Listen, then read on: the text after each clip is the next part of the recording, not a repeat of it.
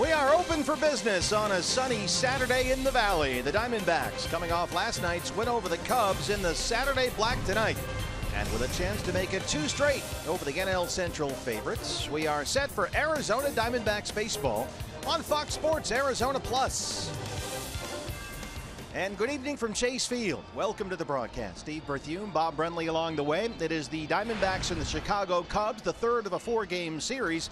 And after last night's walk-off win, Bob, if Zack Greinke can do his thing here tonight, we might be off and running in 2016. Yeah, you talk about momentum. Yasmany Tomas with the big game-winning hit, and then your ace takes the ball the next day. Zack Greinke, not real good opening day. Had that one terrible inning, but uh, over the course of the last four starts last season, his ERA after a loss was 0.34. This guy's somewhat of a perfectionist. You know he wants to put a good start on the board tonight. And wants to bounce back from his effort Monday against the Rockies when he gave up seven earned runs on nine hits and only four innings, three of those home runs. This is the difference maker, right? You got the momentum that starts last night, and now you've got this type of pitcher to roll out there here today. That's why you like to have an ace or two on that, in that rotation, a guy that can stop losing streaks and possibly extend winning streaks. Well, here's the guy that may have started a winning streak last night. It's Il Dange, Yasmany Tomas. Chip Hale said the pitch he hit last night was about Adam's apple high, but he got on top of it for the walk-off single. Right where he likes it, yeah. Pedro Strop fastball at about 95 miles an hour up around neck high, but got enough bat on it to hit that soft line drive into left field and score Chris Owings.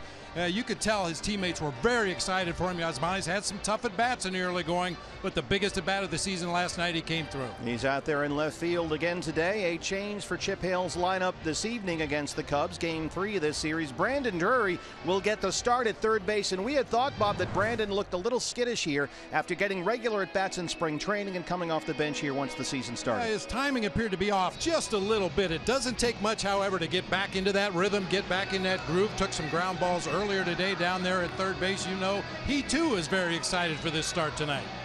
And we're excited to bring it to you on Fox Sports Arizona Plus. The Diamondbacks with a chance to clinch at least a split with the NL Central favorites. First pitch on the way. Zack Greinke on the mound. It's Diamondbacks baseball. Fox Sports Arizona. Arizona Diamondbacks baseball on Fox Sports Arizona is brought to you by CenturyLink.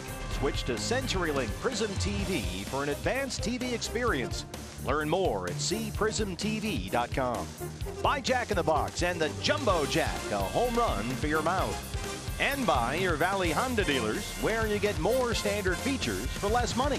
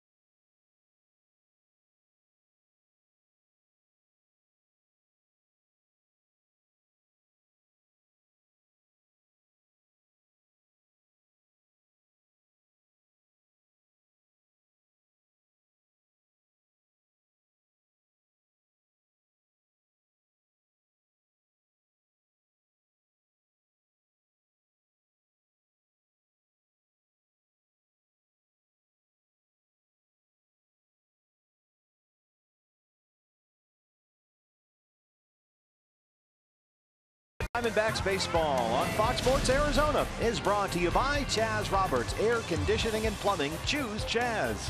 By Lone Butte Casino. You're in for more winning moments at Lone Butte Casino. By Tire Pros.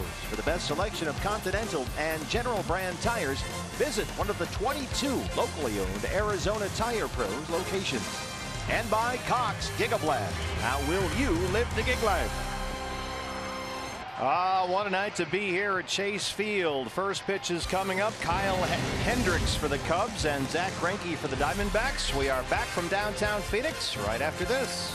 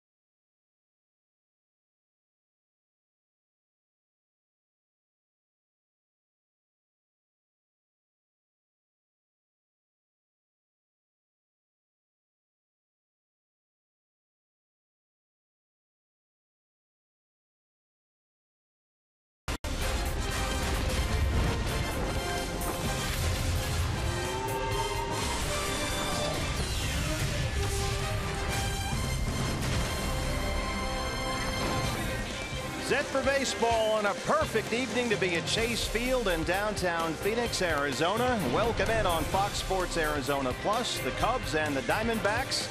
And as we join the evolution, the uniform of the day, the black alternate jersey with the black gradient A cap as Zack Greinke takes the mound here in downtown Phoenix for his second start in his Arizona Diamondbacks career. D-backs trying to roll with some momentum here after last night's walk-off win over Joe Maddon's Cubs, who suffered their first loss of the season here last night. And this series still up for grabs as we play the third of a four-game set at Chase Field.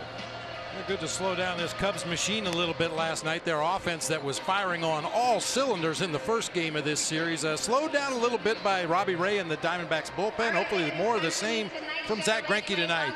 Here's how Joe Maddon will line them up tonight. Dexter Fowler once again out in center field. Jason Heyward in right field. Ben Zobrist at second. Anthony Rizzo down at first base with Kris Bryant at third. Former D-back Miguel Montero doing the catching. Jorge Soler filling in for Kyle Schwarber in left field. Addison Russell at shortstop and Kyle Hendricks, the right-hander on the mound. Your Arizona Ford starting pitcher, he's Zack the Diamondback. Zack Greinke knocked around by the Rockies here on opening day and looking for a mulligan after allowing seven runs on nine hits in only four innings, including three home runs. Yeah, he left a lot of pitches up in the strike zone. His manager Chip Hale uh, chose to give a lot of the credit to that Rockies offense. They were pretty good in that opening series, but Made a lot of mistakes and they made him pay. Eric Cooper, our plate umpire, roof and panels open, set to go D-backs and the Cubs as Dexter Fowler looks at ball one. Fowler off to a sensational start, nine for 15, and four of those hits are for extra bases. But he hasn't faced Zack Greinke yet this year. He struck out nine times in 18 at bats against Zack. Nine times. Just inside there 2 0. Fowler has been an on base machine in the leadoff spot this year. He's reached base safely in 13 of his 19 plate appearances to begin the season.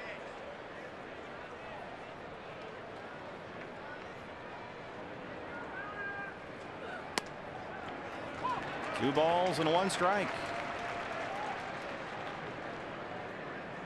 There are the numbers career two for 18 with nine punchouts.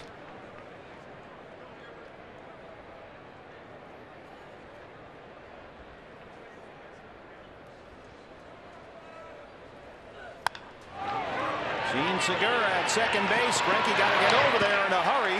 And a nice job by Zack to cover the bag. One down. Let's take a look at the Diamondbacks defensively. Our eye on defense is brought to you by Nationwide Vision Centers. Nice defensive play to start the ball game. Here's how Chip's going to line them up today. Yasmany Tomas in left, Chris Owings out in center, David Peralta in right field, Brandon Drury getting his first start at third base, Nick Ahmed at short, Jean Segura at second base, Paul Goldschmidt at first, Wellington Castillo doing the catching for right-hander Zack Greinke. Left hand hitting Jason Heyward in there now.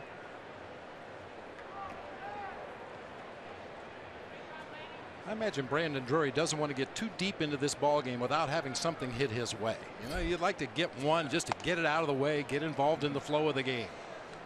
Well, Chip Hale told us he would have to be creative to find spots for Drury's bat.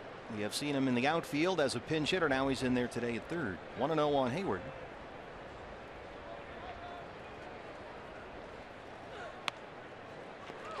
Jason Heyward, four hits in 16 at bats to start his Cubs career after coming over from St. Louis on an eight year, $184 million deal. He walked and singled last night. He was on base four times in Thursday's series opener. We got a full house here today. Crowd still streaming in to Chase Field. Roof and panels open. Very comfortable here. Just a gorgeous night to be at the ballpark. This is hard hit to left center. A base hit for Heyward.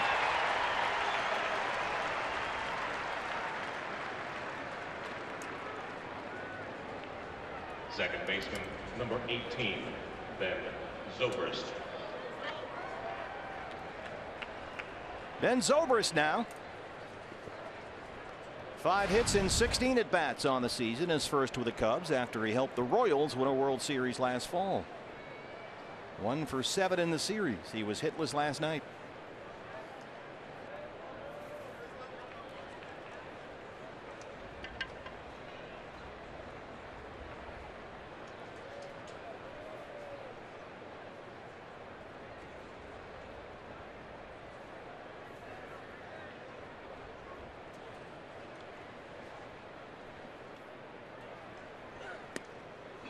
Strike one. Zobrist did have an RBI last night. He walked three times in Thursday's ball game. They gave him a four-year, $56 million deal in the offseason. He'll turn 35 next month. Greinke out ahead 0-2. You don't usually fool Ben Zobrist that badly. With that changeup fading away. Good down away action that time to a guy that makes pretty consistent contact. You can kind of hear Zack Greinke thinking out there, processing what he's seeing.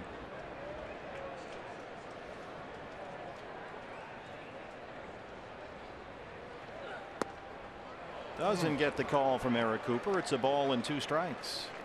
You saw him ask Eric Cooper, uh, did you have that one off the plate? And just a little bit of late movement may have taken it just off that outside corner. It's a good call back there. That's a good pitch. You know, when you're ahead in the count, uh, if you're going to miss, miss farther away. You've got the count in your favor. You got a couple pitches to play with. Don't make a mistake in the middle. At worst, you get some weak contact and a ground ball double play. One two pitch. Missed away again. Two and two.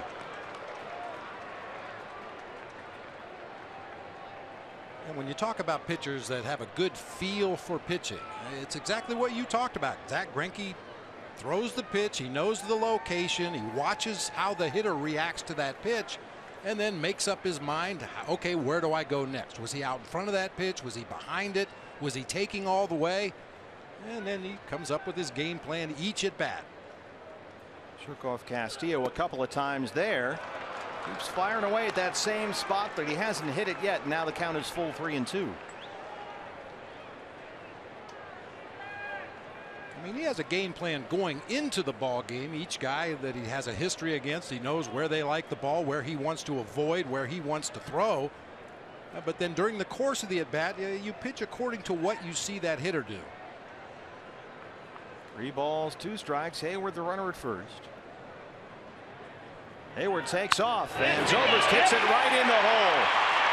Heyward heads for third.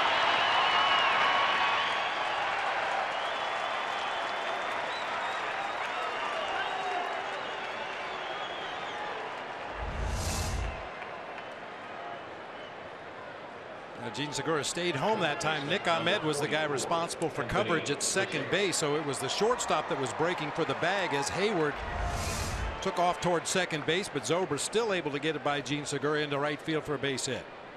A pair of one out singles have runners on the corners for Chicago. One down for Anthony Rizzo.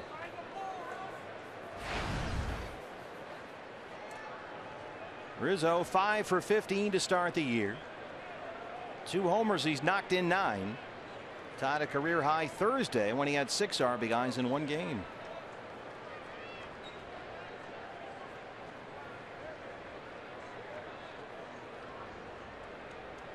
They are shading Rizzo a bit toward the right hand side. Ahmed, the shortstop, almost behind the second base bag. Strike one.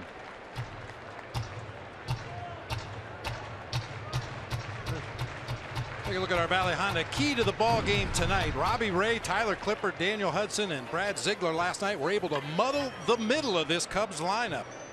Zobrist, Rizzo, and Bryant a combined 0 for 12 against D-backs pitchers last night. Zack Greinke and the bullpen hoping to do the same tonight. Wellington Castillo is going to have to try and think along with Zack Greinke as any catcher would but with Zack, that process is certainly at a higher level and accelerates so they want to get together here in what's already a big spot in the ball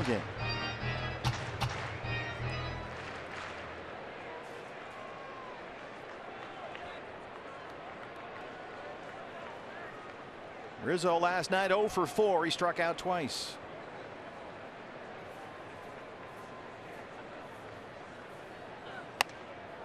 Better that time. Uh, throughout this series, uh, Diamondbacks pitchers have tried to pound Rizzo inside. We've talked about it at length. He stands right on that inside line of the left-handed batter's box. He gets hit by a lot of pitches, but most teams try to attack him inside. Diamondbacks no exception. You see those hands and wrists right out over the plate. Well, he sets up inside again. And this guy's done a lot of damage against the Diamondbacks in his young career 31 games, seven homers. He's knocked in 27.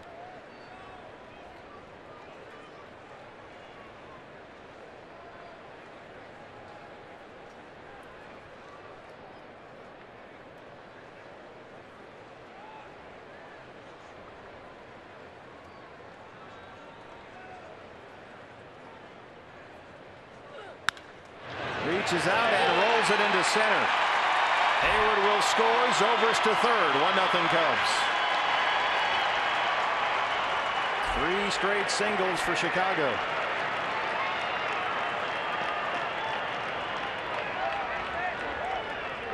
Changeup that just didn't quite get far enough off the plate that time. look at that swing by Rizzo. You talk about a defensive swing with two strikes. Just protect on pitches that are too close to the strike zone to take. And that time he grounds one into center field for a base hit. Three straight singles now. Still just one out. And the batter for the Cubs is Kris Bryant.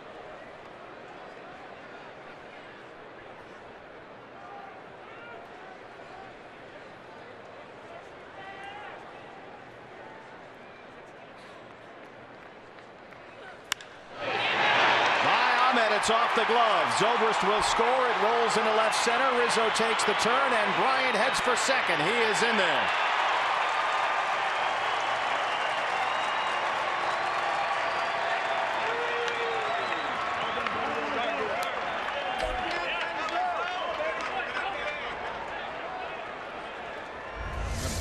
ball right there. Slider in the middle of the plate. Location has been bad in this first inning already for Zack Greinke. Just looking for that release point so he can get the ball out there on the corners at the knees. Hit extremely hard off the thumb of Nick Ahmed's glove and on out into left center field for another RBI hit.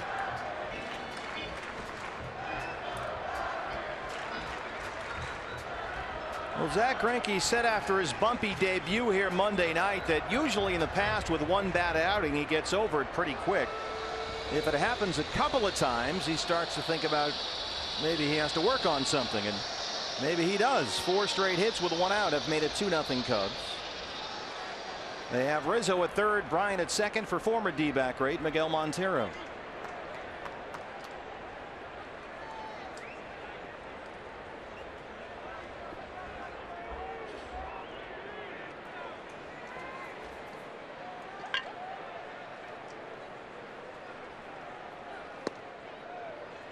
One. Montero did not get in on the fun uh, the first game of this series as his teammates were banging the ball all over the ballpark. He took an 0 for 6, but as we said at the time, he's a good teammate. Somebody has to make the out. Miggy ended four innings Thursday night. Two for 11 with a home run to start the year. Greinke behind two balls and no strikes. Miggy has homered twice off Zack Greinke in the past. Greinke now with 20 pitches.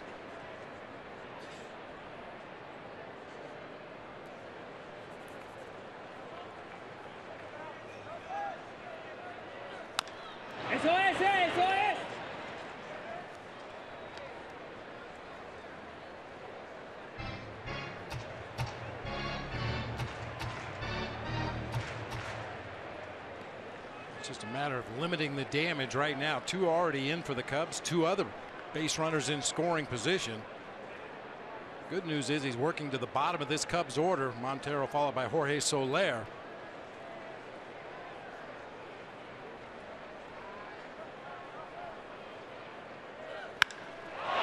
Fly ball field. Tomas at the track at the wall and he runs it down. Rizzo will tag and score and it's 3 0 Chicago. The RBI for Miguel Montero.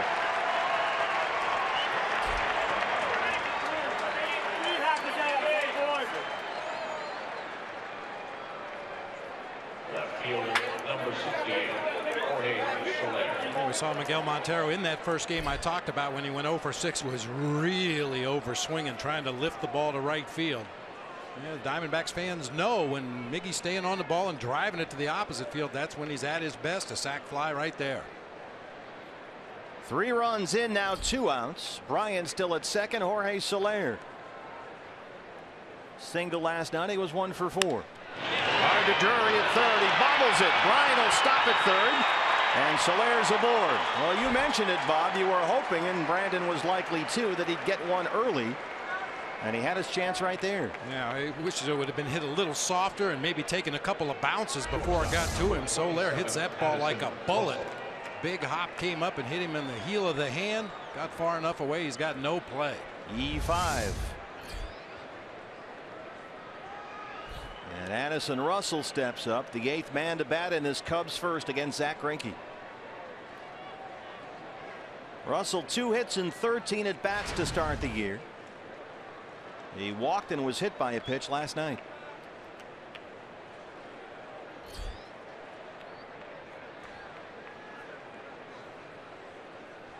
You see Wellington Castillo step out in front of home plate with runners on the corners for the Cubs. Uh, should Soler break for second base, everybody needs to know where Wellington's going to throw the ball.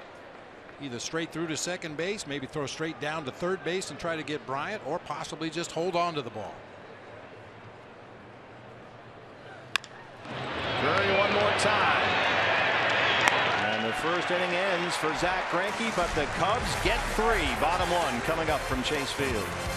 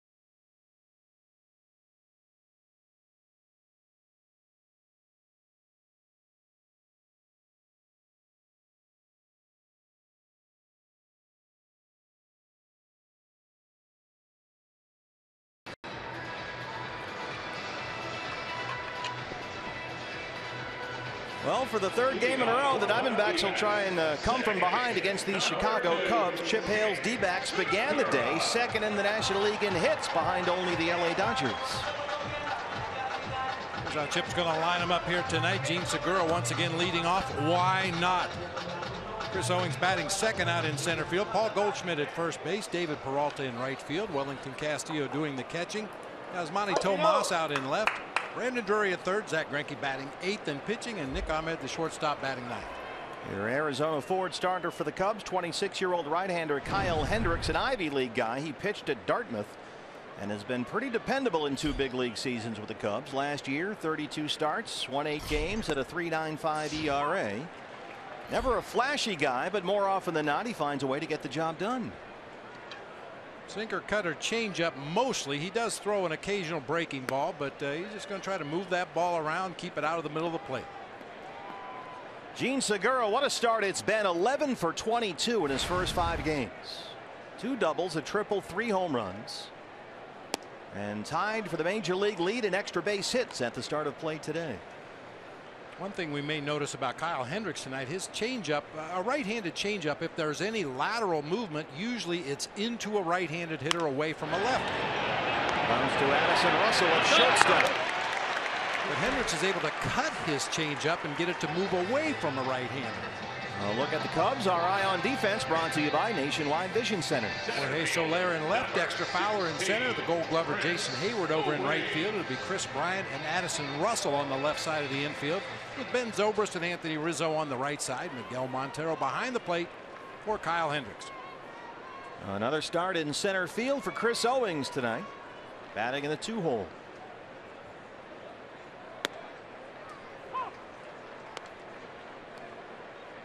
CO was the one who raced around from second base as a pinch runner last night to score the winning run on the Yasmany Tomas walk-off single. He's behind 0 2. CO three hits in 15 at bats this year. He's knocked in two.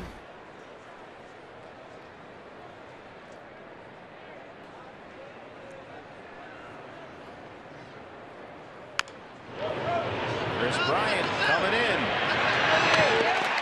Bryant moves really well for a big guy. He's an enormous guy down there at third base, and he's a lot more athletic than you think he will be. First baseman. I would imagine he was a pretty good basketball player in high school. He moves really well, controls that big long frame. Fortunately for him, got a high hop that time, came up well, about knee high, didn't have to go all the way down, but uh, strong throw on the move just in time to get Chris Owings. He's 6'5", 230. Here's another big guy, Paul Goldschmidt for the Diamondbacks. Hendricks throwing strikes at 0 1. Goldie five hits in 17 at bats. Paul has six RBIs and had a pair of RBI singles last night in the win over these Cubs. And boy, his contribution last night enormous. Diamondbacks were down 2 0. Only two base hits through the first five innings. But it was Goldie who drove in the D-backs first run in the sixth, and then Paul tied it with a clutch two-out RBI single in the eighth.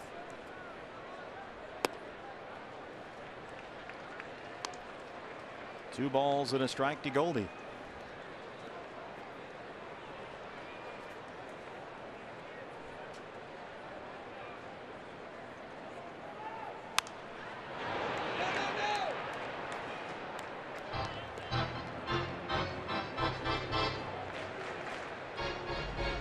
Goldie just doesn't look comfortable with the bat right now. Like he's uh, got too much or not enough pine tar. Working on that grip, trying to find that magic spot on the handle of that bat. Well, didn't find it that time. Kyle Hendricks gets three runs and has a one, two, three bottom of the first. Diamondbacks down three nothing.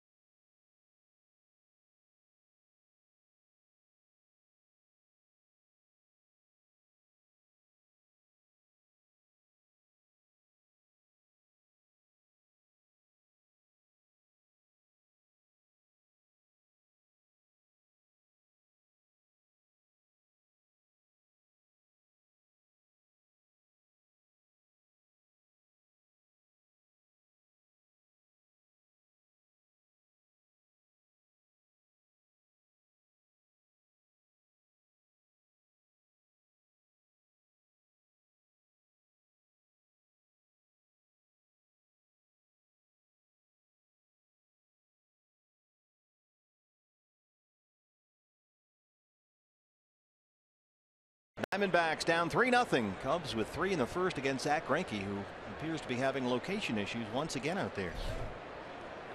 Kyle Hendricks, the Cubs pitcher, the only guy who did not bat in the Chicago first to lead off the second.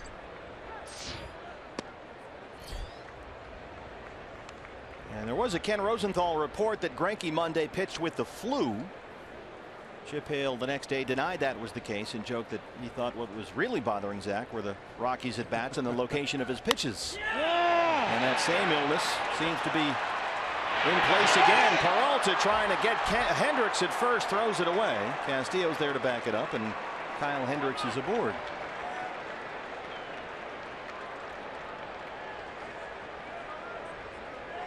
It's worth a shot. We know David Peralta has a big arm out there in right field. Occasionally you catch that pitcher jogging down the first baseline really proud of himself for putting the ball in play and you can throw him out at first but you can clearly see Kyle Hendricks got down that line. Fortunately Wellington Castillo backing up the play right there. No further damage. Dexter Fowler grounded out to lead off the ball game.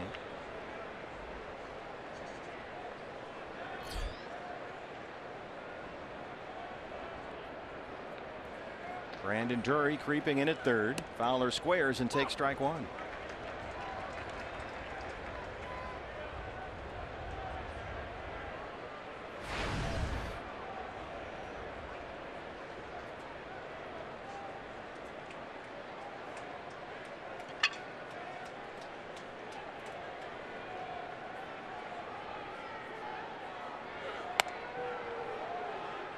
After Zack's loss Monday night, Hall of Famer Pedro Martinez got on the Twitter. And Pedro tweeted that Colorado knows something nobody is talking about. They felt too comfortable against Greinke. And Pedro suggesting that Zack Greinke is tipping his pitches and that the Rockies knew what was coming. Greinke, after all, did give up three home runs in one game for the first time in seven years. He was asked about that after the ball game and said it's possible he probably wouldn't even bother looking at it, however. He just threw too many pitches away early in the game and didn't throw in enough, he said. That's part of a pitching coach's job uh, when a guy gets banged around the way Greinke did against the Rockies. You go back and look at the video and you look for things. Is he tipping anything? Is he setting up differently on this pitch as opposed to that pitch? And I'm sure Mike Butcher looked at it. Even though Zack said he did not, I'm sure he took a look at it as well. He strikes out Fowler. First strikeout for Zack. One away in the second. Our buddy Curt Schilling used to say he hopes that the other team thinks they have something. Because then you can really play with their minds. Greinke sort of had the idea that maybe the other team just felt a little too comfortable in the box and he thought that was more of a possibility than tipping pitches and as we mentioned, maybe didn't throw inside enough, so we'll see if he does that here tonight. Heyward singled and scored his first time up. Yeah, I would tend to agree with that. Obviously, some mistakes. He made some mistakes up and over the heart of the plate, but really didn't come inside hard to any of the Rocky hitters. Everything was middle of the plate or away.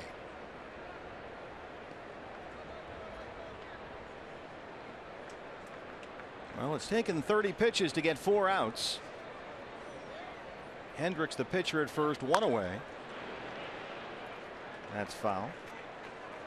We've already seen at least three curveballs here in this inning, trying to really incorporate all of his pitches early in the ball game. Just when you give up four straight base hits in the first, maybe you should start using all your weapons early.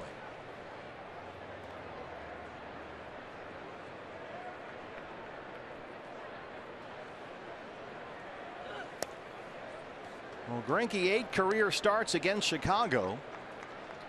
A 4 and 2 record, a 3.78 ERA. He faced this Cubs lineup only once last year when he was an LA Dodger. And worked six innings of scoreless baseball and gave up just three hits. He gave up four hits in the first inning alone tonight. Light sky up there for Nick Ahmed.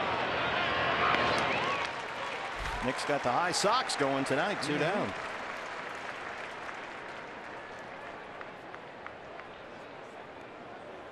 Ben Zobrist now. Second baseman, Ben Zobrist.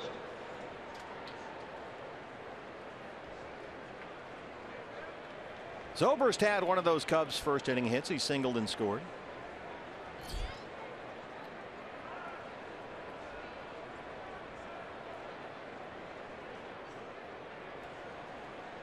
Remember Zack was just working him away, away, away, away, either on the outside corner or farther off the plate. Eventually, Zobrist went out there and took a pitch that was eh, probably down at the borderline of the strike zone to get his base hit. Goes outside again. He is really staying away from Zobrist.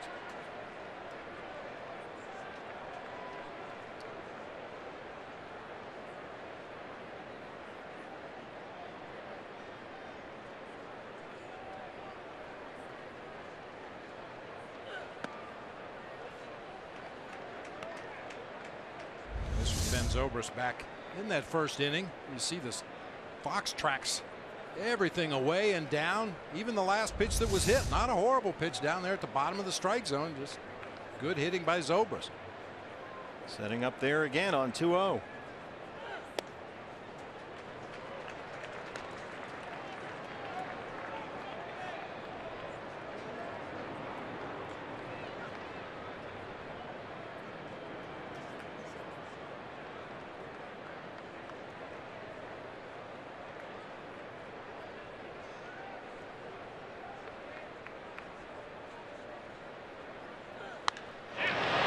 Boy, the 3 0 pitch. He turned on that one. Couldn't keep it fair, though.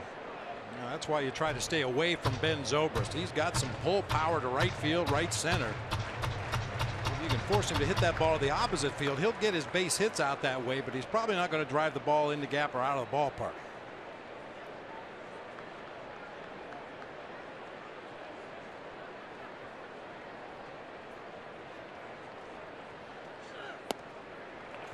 And walked him. First walk issued by Zack Greinke. And that'll bring up Anthony Rizzo with two on and two out. First baseman Anthony Rizzo. I'm sure Chip Hale is just hoping for a nice quick out here with Rizzo at the plate. But when I used to manage and the pitcher was running the bases with two outs in the inning and he's at second base, I always rooted for a base hit to the outfield and have that third base coach send the pitcher collision play at the plate. Come on. Really take it out of that opposing pitcher. Rizzo had an RBI single and scored in the first. Fly ball, right field. It'll stay in the yard for Peralta. And Zack Greinke strands two. D-backs trail it 3 0.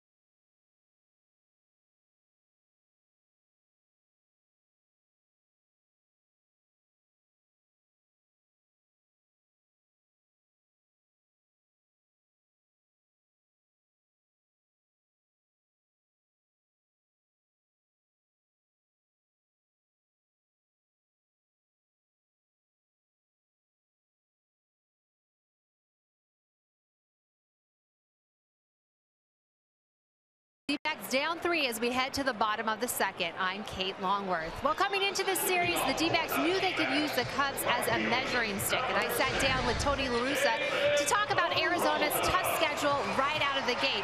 He joked with me that at the end of April, the Diamondbacks will certainly be battle tested, but he said he's a guy that sees the glass as half full. So rather than dwell on the tough competition, he wants to see his players rise, raise their level of competition.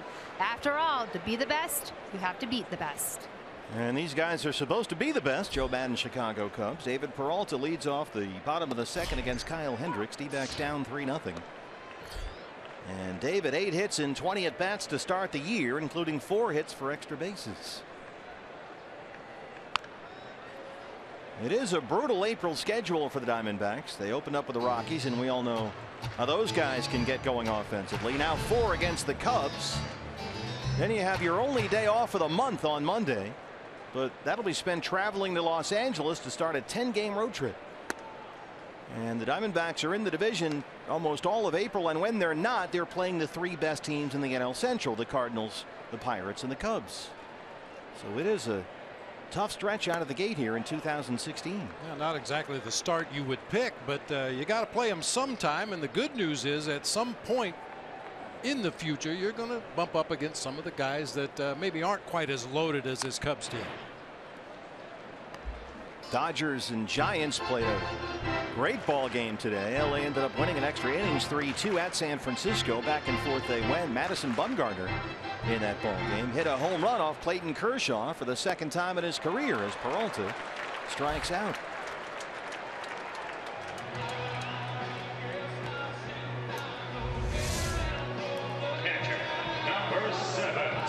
Changeup we talked about. Hendricks can make it fade away from the lefty. Can cut it into the lefty. Kind of unusual for a guy to throw an off-speed pitch uh, that moves both directions like his changeup does. He's retired all four he's faced. Here's the catcher, Wellington Castillo. Welly three for 16, all three hit singles.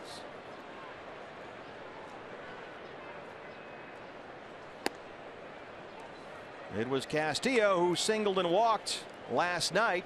And Wellington had the base hit in the ninth inning off Trevor Cahill. It put the winning run on base for the D backs. And Chris Owings, who was the pinch runner for Castillo, came around to score on Yasmany Tomas's walk-off winner. And Tomas is on deck.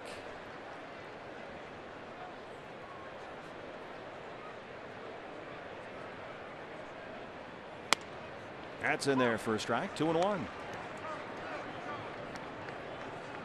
D-backs wearing the uniform of the day, the evolution, the black alternate jersey. The black gradient A cap with that sort of red design on the top of it. We are going to dazzle the opposition this year. Different colors, fashion statements. That new snake head baseball logo on the sleeve there looks great. Two and two. You guys had the uh, chance to do that when you were managing. You had all kinds of things going on there. We had a few different uh, combinations. We had purple, we had black, we had the vests. Nothing like this. Nobody has anything like this. Two and two. Bouncer to Russell at shortstop on the short hop. Time now for El Tanque, the tank. Yasmany Tomas, who had his first career walk-off hit last night. This ninth inning single that was about Adam's apple high, said Chappelle. Uh, former D-back Trevor Cahill. Now, what do you put on an advance report for Yasmany Tomas? Don't don't throw it at his neck. He's got that Vlad Guerrero quality about his pitch selection. Uh, Tomas four for 15 at the plate to start the year including two doubles. He's also struck out five times in those 15 at bats.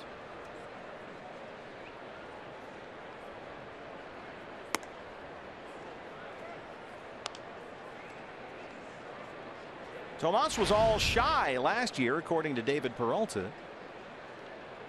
David said Yasmany wouldn't talk much with anybody last season but now Peralta says that Tomas looks like he feels part of the family here. He's feeling better. He looks really good. He's in shape, and his teammates are excited about it. And last night certainly certainly went a long way in emphasizing that Yasmany part of the gang now.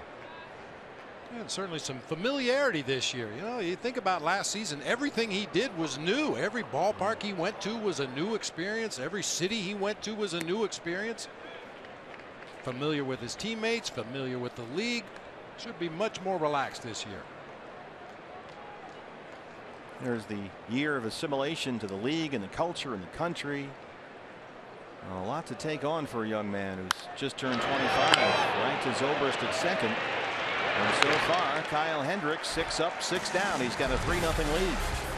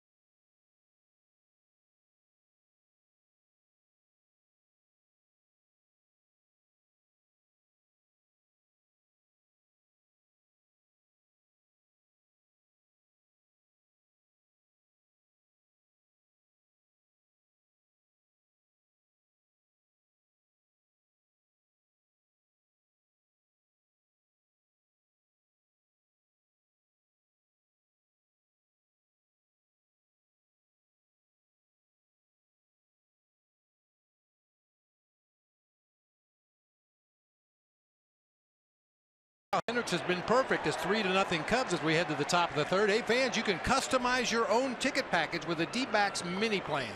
Choose from big games including the Yankee series in May, bobblehead nights, holidays, or any combination you choose. Buy now at dbacks.com. Well, location, Bob, has uh, been an issue again here tonight for Zack Greinke so far. Down 3 0. He gave up three in the first against these Cubs. And Kris Bryant leads off the Chicago third. Greinke so far three runs allowed on five hits a walk and a strikeout. Diamondbacks have the shift on the left hand side. Jean Segura the second baseman on the shortstop side of the bag and Brandon Drury right on the line at third.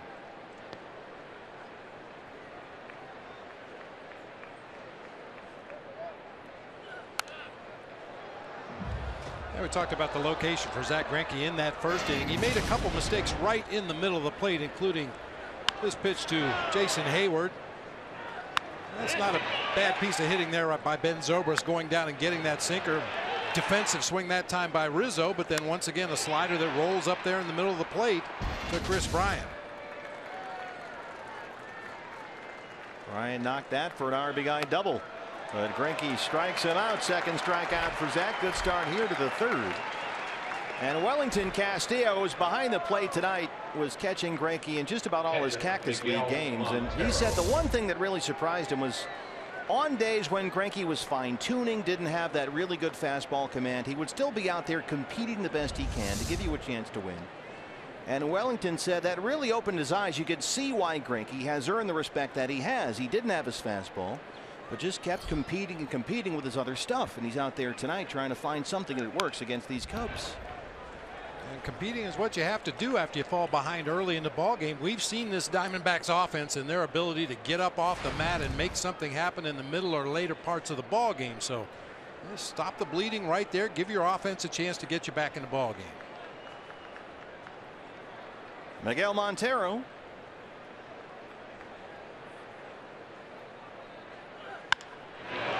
Lifts it in the air, deep left center field, a long run for Owings. He won't get there. Tomas has it. Montero heads for second. And he is in there with a double.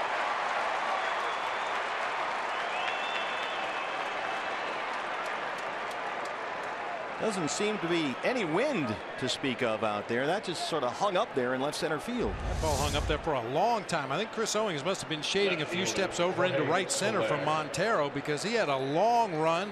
Tomas looked like he was uh, going to let Chris Owings take it after the collision we saw the first game of this series in Yeah. left center. It's understandable that outfielders are a little more careful on those tweeners.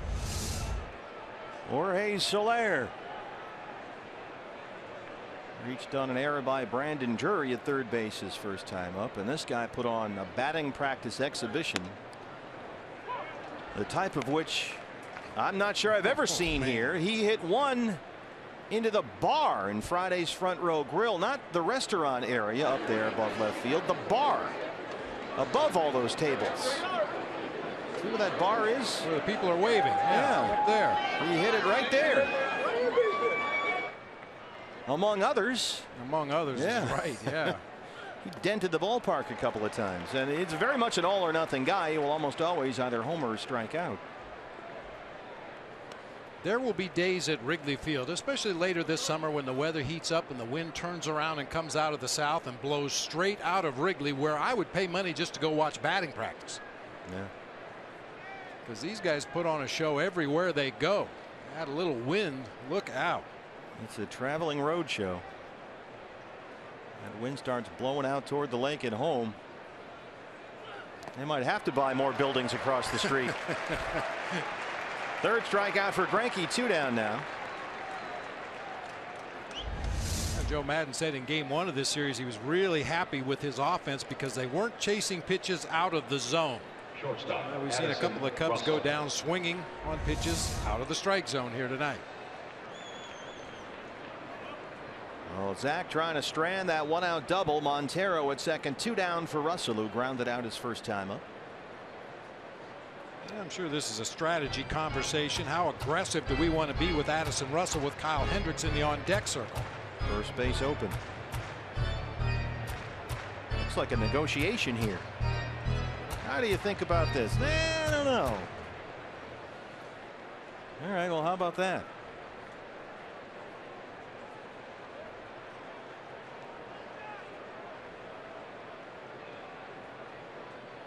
Catching this guy must be like going to a, an honors arithmetic class or something. You're in advanced calculus. Yeah, your head hurts at the end of the night if you're trying to call pitches for this guy.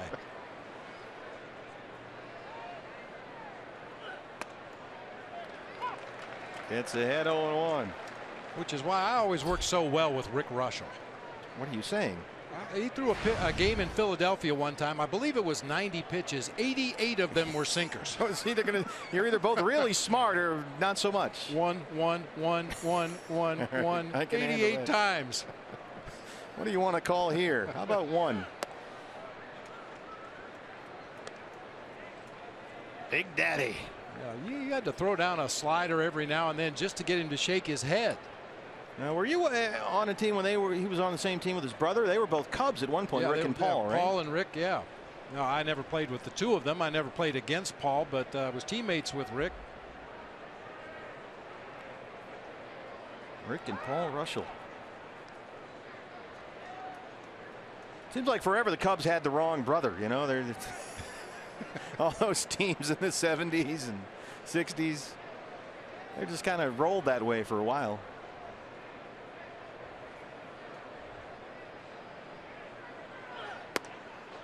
Two balls and one strike. And we talked about in spring training the rebuilding process that Theo Epstein and Jed Hoyer undertook when uh, they took over leadership of this Cubs organization, kind of broke it right down to the studs and started over again, which is something the Cubs organization was never fond of. They would tend to sign free agents a year or two after their prime and pay them big money for very little result. Came inside on Russell and got the strike call from Eric Cooper. Two and two now.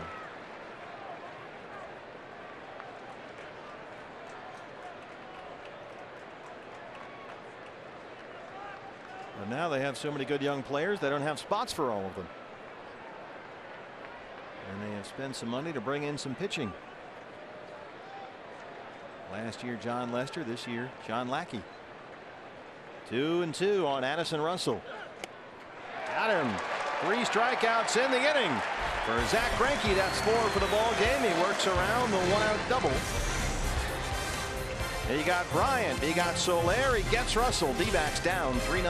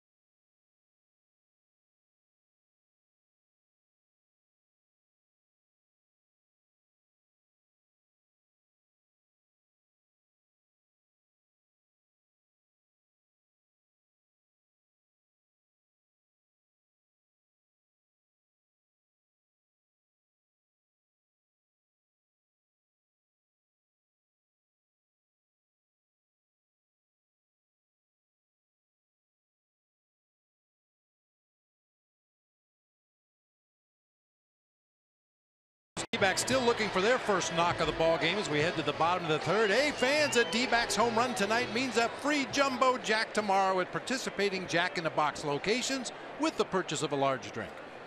Well, the D-backs still looking for their first base hit against right-hander Kyle Hendricks, who has retired all six he's faced. Brandon Drury, the third baseman tonight, leads off the Arizona third. Brandon one for seven on the year with three strikeouts and after a sensational spring training during which he hit about 390 with four home runs. It's been a skittish start out of the game for Brandon with inconsistent at bats and playing time. So hopefully this will get him going here tonight.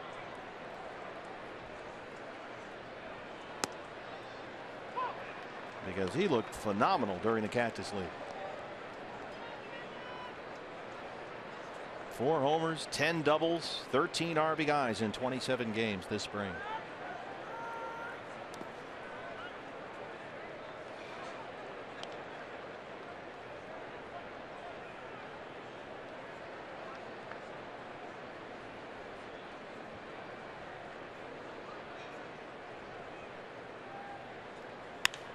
Reaches out and drops it into left. There you go, Brandon, a base hit. First hit tonight for the D-backs. Leadoff man aboard in the third.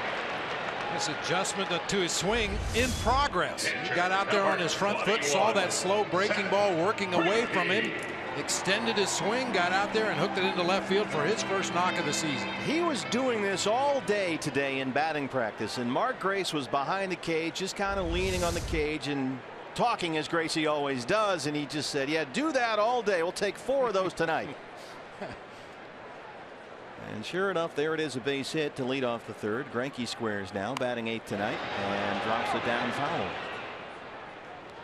Tonight's Cold Hard Facts brought to you by Clean, Crisp Coors Light.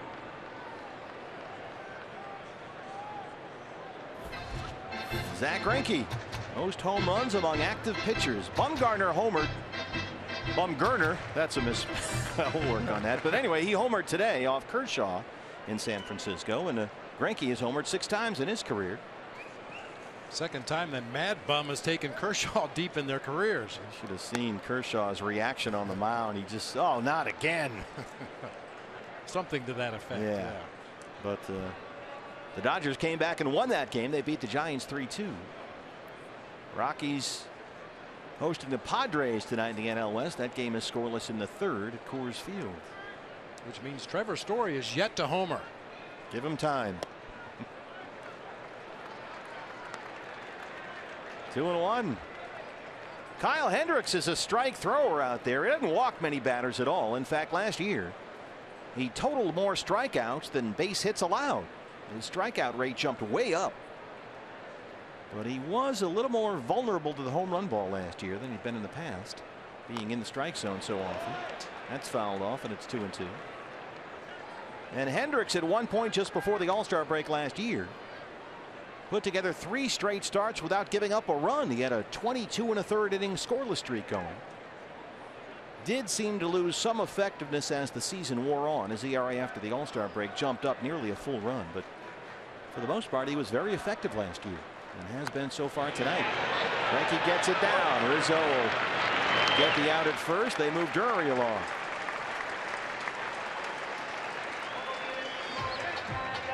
Kyle Hendrick had 17 no decisions last year. Seven of those he left the ball game with the lead and the bullpen gave it up. So his 8 and 7 record very very deceiving. Nick Ahmed. Six hits in 17 at bats to start the year, including a double and a home run. He's up there with Brandon Drury at second base and one out.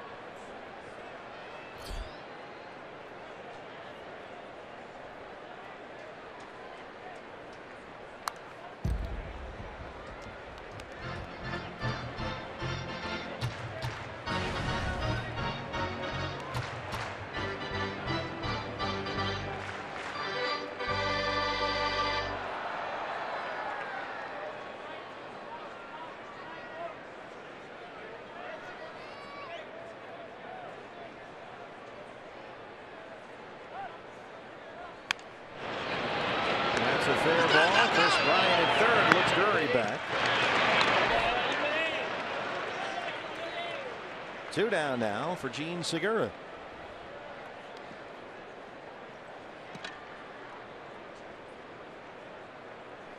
Segura grounded out to lead off the ball game for the Diamondbacks. Second baseman, Jean Segura. Jean Segura three hits last night including two doubles. He scored twice. And he is the first player in Diamondbacks history with multiple hits in each of his first five games of the year.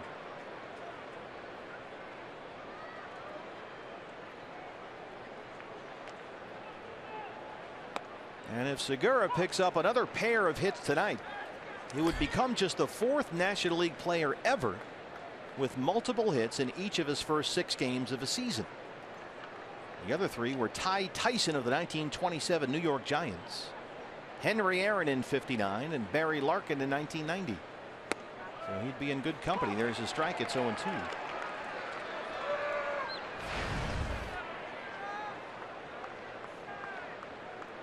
The hits so far this season, just like in the spring, have been coming in bunches for Jean Segura.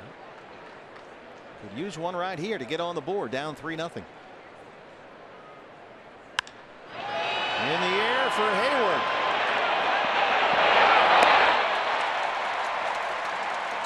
Kyle Hendricks strands Drury at second, and he keeps it a 3 0 Cubs lead.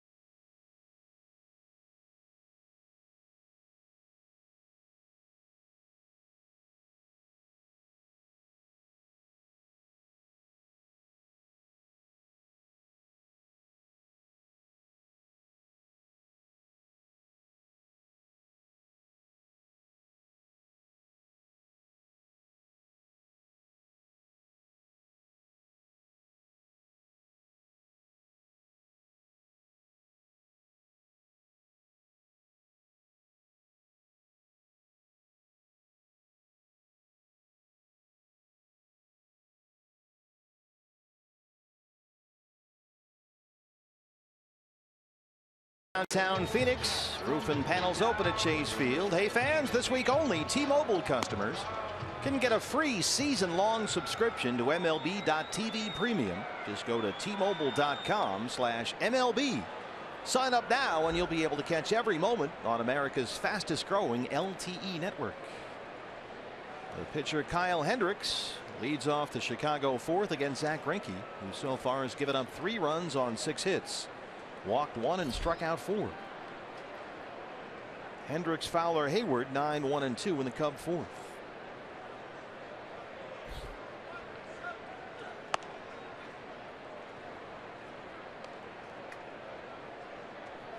We Saw that meeting between Wellington Castillo and Zack Greinke during the Addison Russell at bat, or before the Addison Russell at bat, and this is why you attack the number eight hitter. If you can retire him to end the inning, you get the pitcher up there to lead off the next inning. Ideally, you retire him quickly and go to work on the top of the order with one out in the inning and nobody on base.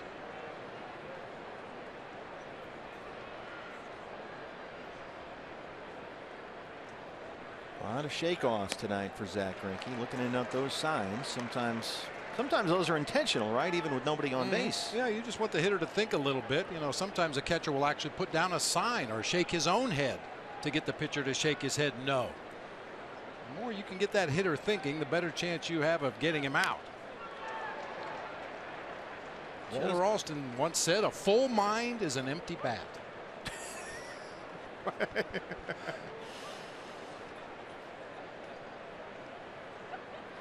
I've pretty much operated on that premise my whole life. Yeah, no kidding. Yeah, it's true. You know, yeah, the- the- it's all about routine and taking your batting practice and working on your mechanics as a hitter, and then just see the ball and react to what you see. Don't think too much.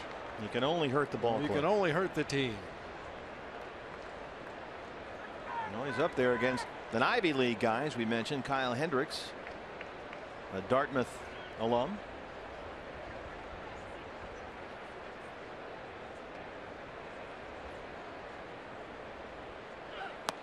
There's strike three, five strikeouts for Zack, including three in a row now. He has struck out four of the last five Cubs he's faced. Center fielder, Dexter Fowler. Cutter right in the middle of the plate. Kyle Hendricks heads on back to the dugout, just like we hoped for. One out, nobody on base. For Dexter Fowler, who was grounded out and struck out 0 for 2.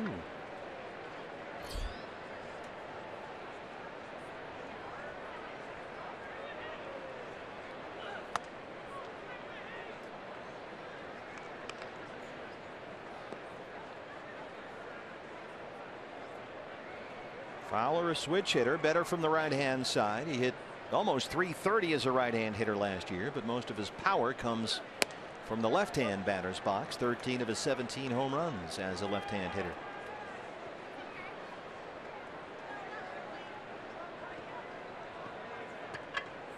Speaking of smart guys, Dexter Fowler was recruited out of high school in Georgia to play basketball at Harvard. He played both sports in high school, baseball and basketball. Before he was drafted by the Rockies, he was going to go play college baseball at Miami. Could have gone to play basketball at Harvard.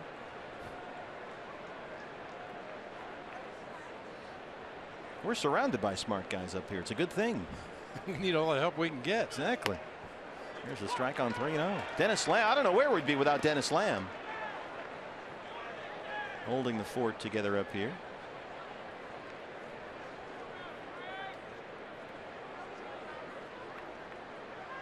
Of course, Ralph Kelso. Every time I have a problem, I go to Ralph Kelso. The great sage of the Western Valley.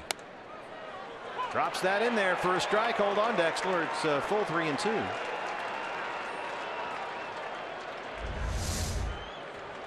Breaking ball Fowler thought it was up. It just does catch the top of the zone. Not exactly where you like to throw that curveball, but definitely was in the zone. Eric Cooper said it was in there. So here it is three and two.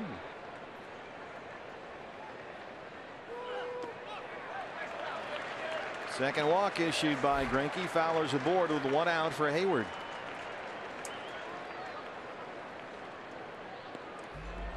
Right fielder, Jason Heyward.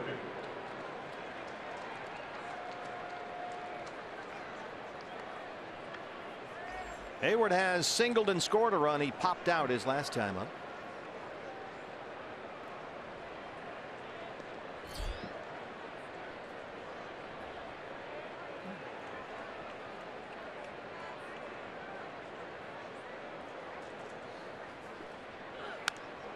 This is the combination that Joe Maddon really likes at the top of his order Fowler and Heyward.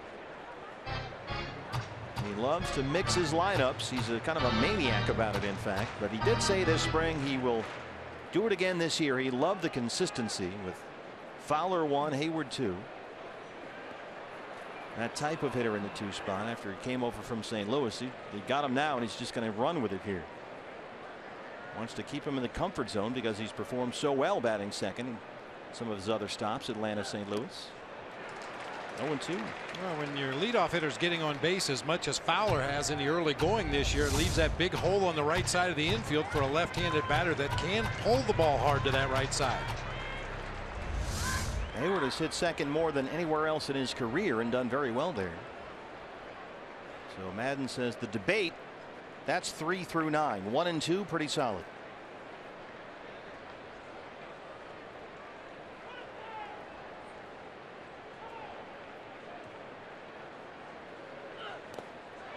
Chases that one in the dirt. Six strikeouts for Greinke. And two down in the fourth. Cub hitter chasing out of the zone here. Change up on the two strike count. That ball bounced right off of home plate, blocked by Wellington Castillo for the second out of the inning. And remember how they've worked Ben Zobrist so far. He has singled, walked, and scored a run. Everything to Zobrist away, away, away through two at bats.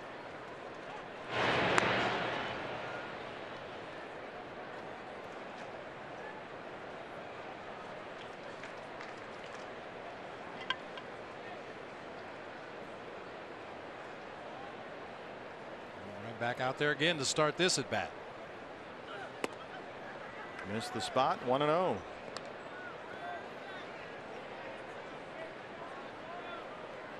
Zobrist's first inning single was on a 3 2 pitch. He walked in the second, so he's seen a ton of pitches here already tonight.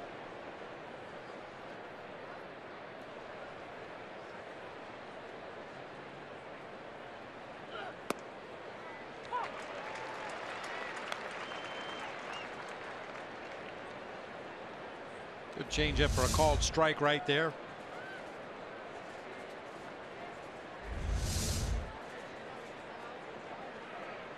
And when you're behind in the count, you want to get that changeup close to the strike zone. When you're ahead in the count, you want to bounce in the dirt like we saw him do to Jason Heyward. Why so? Well, because it, when the, the count is in the hitter's favor, he's probably hunting fastballs. Chris Owings, right center. Seel won't get there. It's off the wall. Fowler will score. And it's an RBI double for Ben Zobrist. 4 nothing Cubs.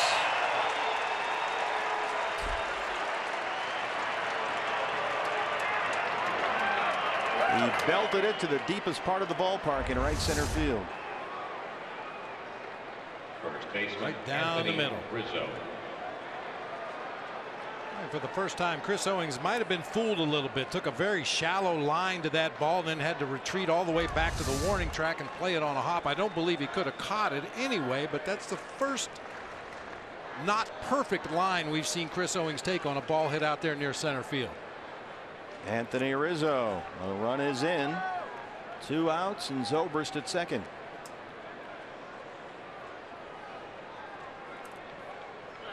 Rizzo had an RBI single and scored a run as part of that three run Cub first. He flied out his last time up one for two.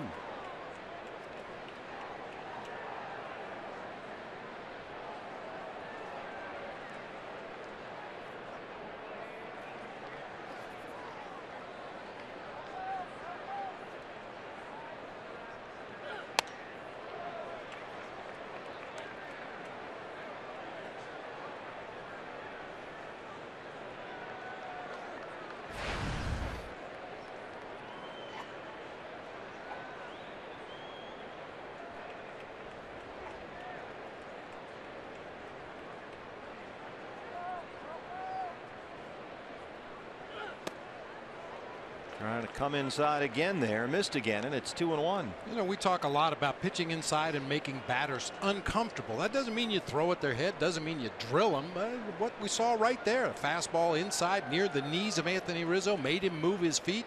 That makes you uncomfortable as a hitter.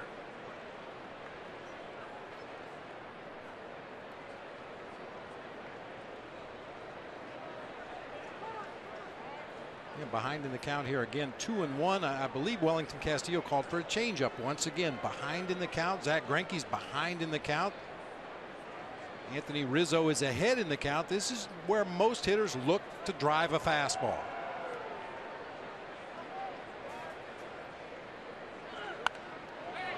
And on the hands, well, he'll give it a look, but it's in the seats. Two and two now. And back to the fastball instead. After Rizzo called timeout and stepped out of the box, Zack thought about it for a minute or two and came back with a 92 mile an hour heater instead of the changeup they were going to throw.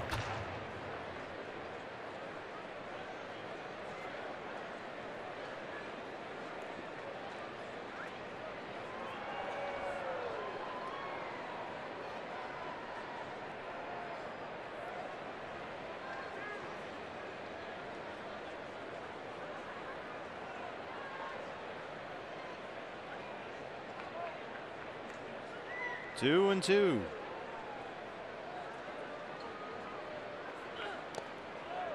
Did he check? Yes, he did, says Gary Cederstrom. And it's a full count, three balls and two strikes.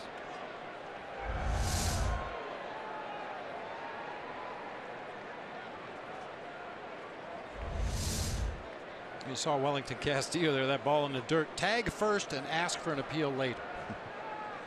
Just in case that is called a swing, you want to make sure you get that tag on Anthony Rizzo and don't give him an opportunity to run down to first base.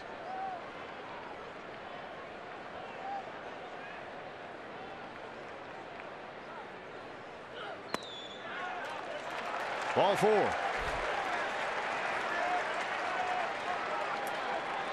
That's three walks from Greinke. Two on, two out now for Kris Bryant. Third baseman Kris Bryant. And the pitch count is moving up. Gave up three runs on four hits in that first inning.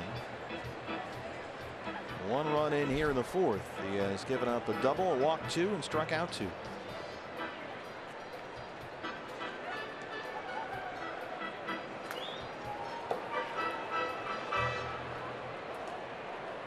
Bryant has an RBI double and a strikeout, one for two.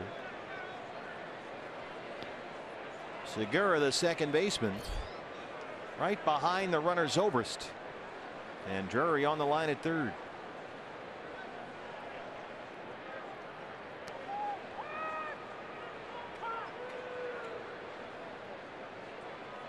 A good shot of Jean Segura breaking in behind Ben Zobrist out there at second base with that pull shift on. He's in a perfect position to sneak in behind that base runner at second.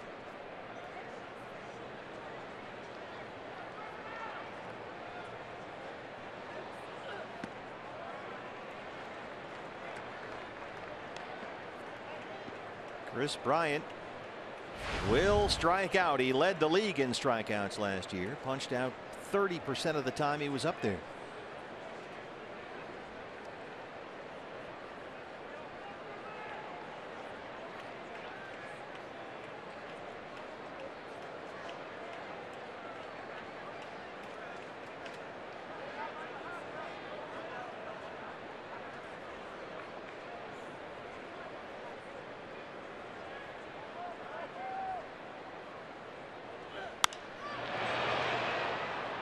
One. Well, the name Rob Deer just popped into my head. Well, I'm that's not a thinking about at all. Bryant, a guy that uh, hit a lot of home runs. He struck out a whole bunch, usually carried a very low batting average, but always dangerous. Big number 45, Rob Deer for the Brewers. Played for the Tigers, the Red Sox for a while.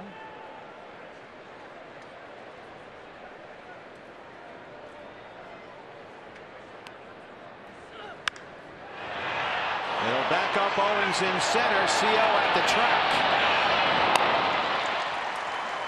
And Zack Greinke strands two, but the Cubs get one more. They lead it 4 0.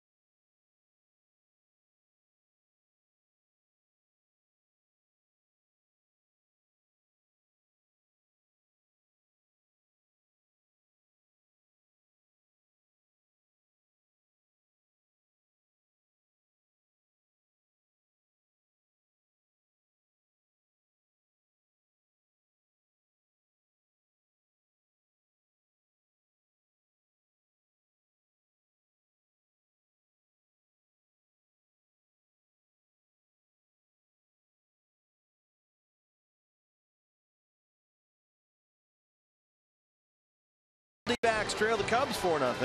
Time to take a look back in history presented by Geico on this date. 1965, President Lyndon B. Johnson joined more than 47,000 fans for the opening of Harris County Dome Stadium, otherwise known as the Astrodome. One of the legendary sporting facilities in the history of this country, really. A lot of great games are played in that ballpark. And it still stands. The Disastrodome. oh, man. Oh, brother. Chris Owings. You didn't like it there, huh? Not very much. What was the problem? Uh, uh, multiple problems. Well, name one. Nolan Ryan. Well, Mike Scott. tough in any ballpark. Yeah, sure. You make a good case. Yeah, it was a big. Obviously, the AstroTurf was not good on those of us with bad knees. And I've told this story in the past too. Uh, when you would take a cab to the ballpark or the team bus would come to the ballpark, they would drop you off at the loading dock. Then you would enter the stadium near the dumpsters and you would get this garbage smell in your nose that you couldn't get out for weeks. I can still smell the Astrodome. If I close my eyes and think about it, I can still smell it. Feels like San Francisco with all the dumpsters out behind left field and the garlic fries and the seagulls and the whole thing. CO knocks it into left center. He takes a big turn. Owings thinking about second. He'll put on the brakes. A leadoff single. Just the second hit for the Diamondbacks against Kyle Hendricks. That's an almost standard operating procedure to take this kind of turn around the first base. Absolutely. I mean, you know, there, there's a lot of definitions for playing the game the right way, but for me as a base runner, it's constantly putting pressure on the defense. Run as hard as you can until they make you stop.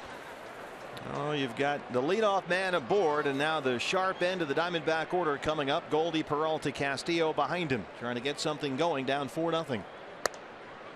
Goldie struck out his first time up.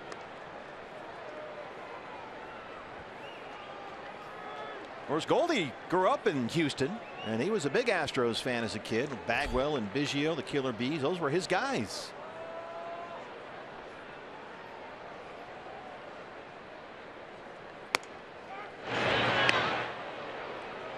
In my day, it was uh, Jose Cruz and Enos Cabell. Mm -hmm. Billy Doran. Yeah, second baseman. Alan Ashby, who does their games now. Great Alan Ashby, a catcher for a long time. A lot of good players on those teams. Art Howe, Terry Puhl. Of course, when Rusty Staub started there, they were the Colt 45s. Right. Along with Joe Morgan. Owings takes off. He's in there. Stolen base for CO, who was running wild all through the Cactus League season. And that pitch is a ball to Goldie, so it's 3 0. Got a good jump, took a quick peek over his left shoulder just to see what happened at home plate, but easily in ahead of the throw. Trying to put some pressure on.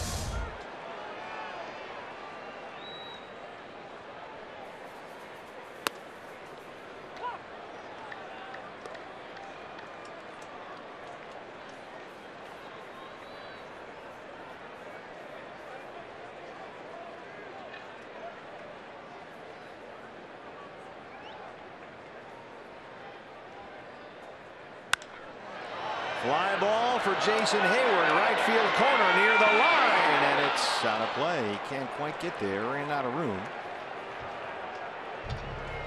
That's why I'm guessing, Bob, I always hear it's a lot tougher to play a corner outfield spot in one regard than it is center field because the ball has spin on it when it's coming at you. Yeah, a lot more, if you want to call it English, right-handed batter hitting a ball to right field like Goldie just did, it's always going to be slicing away from that right fielder as he chases it into foul territory. Same thing for a left-handed batter hitting a ball to left field.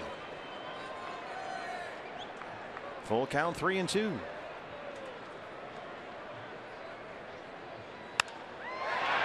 Oh, Addison Russell takes a base hit away.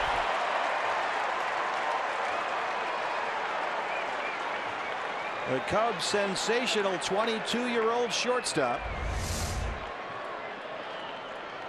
The ball got in on Goldie just a little bit. Didn't quite barrel it up, but still a nice play by Addison Russell ranging over into that hole.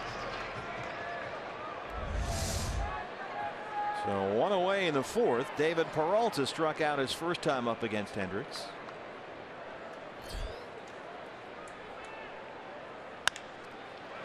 To Zobrist at second. Owings at third, two down.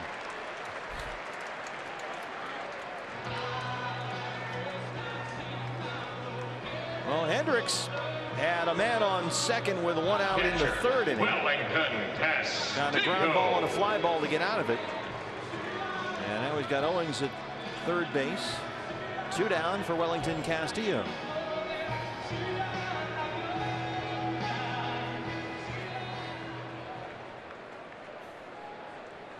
Castillo grounded out his first time up. Just three for 17 to start the year, all three hit singles.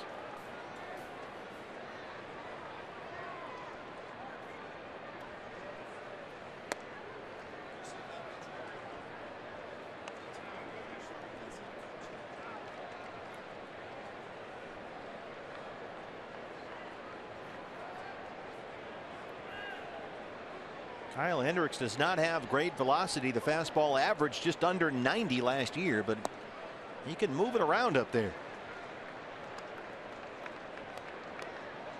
Curveball, cutter, sinker, changeup. Here it is. Topped out tonight at 88 so far.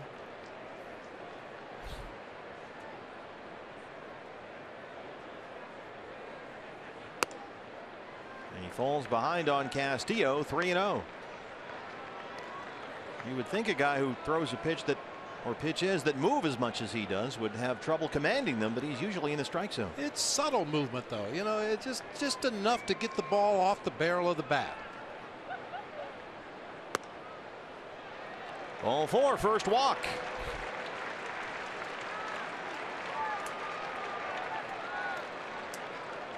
You know, I've talked about that cut changeup that Kyle Hendricks throws, and uh, it is unusual for a right-handed pitcher to have his changeup go away from a right-handed hitter. Usually it fades back inside, but this is one of those cut changeups. Ball starts on the outer third of the plate, moves a little farther away. Wellington takes it for a ball, but uh, that, that's really an unusual pitch that most hitters aren't used to seeing. Yeah, usually about 80% of the time it's sinker changeup with that weird movement on it. So they're on the corners, two down for Yasmany Tomas, who grounded out in his first at bat tonight.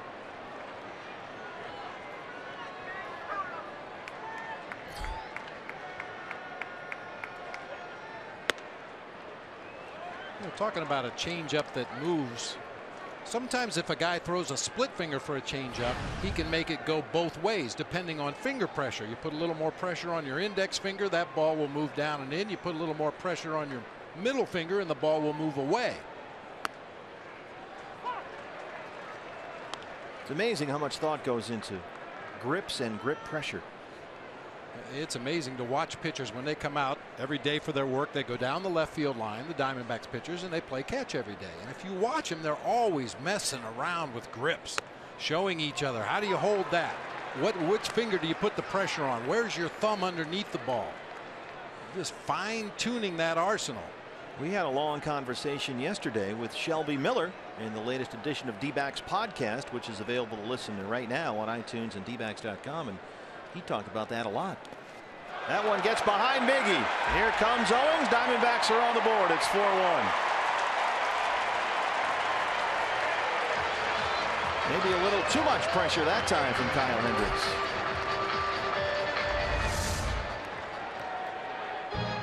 Wild pitch.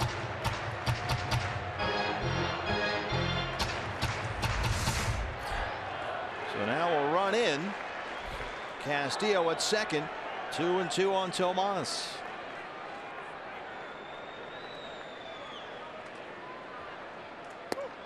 Called strike three. Eric Cooper rings him up. But the Diamondbacks get one. We are through four. And it's a 4-1 ball game. Hey. Yeah. All right.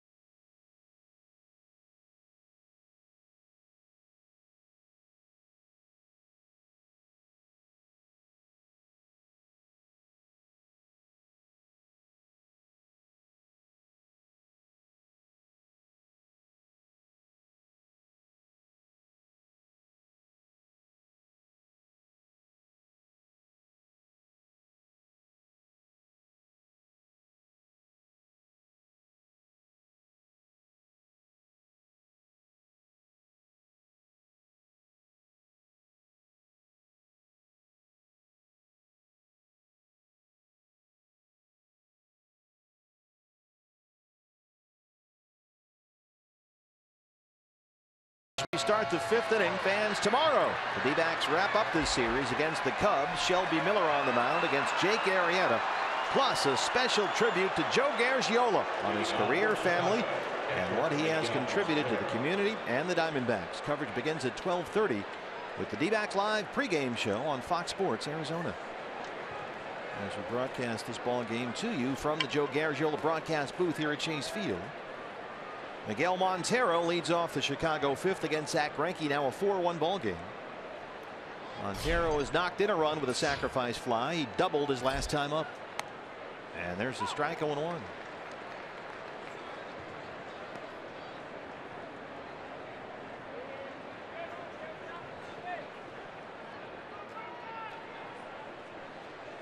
Eighty pitches for Greinke, 51 for strikes. Goldie a high hop.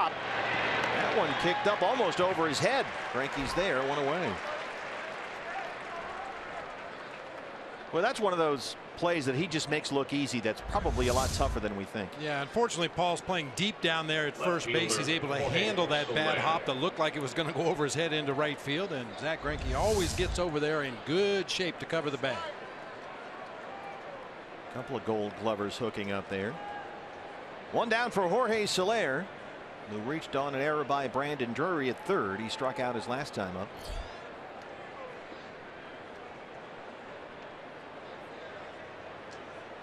Greinke so far has given up four runs on seven hits. He's walked three and struck out six.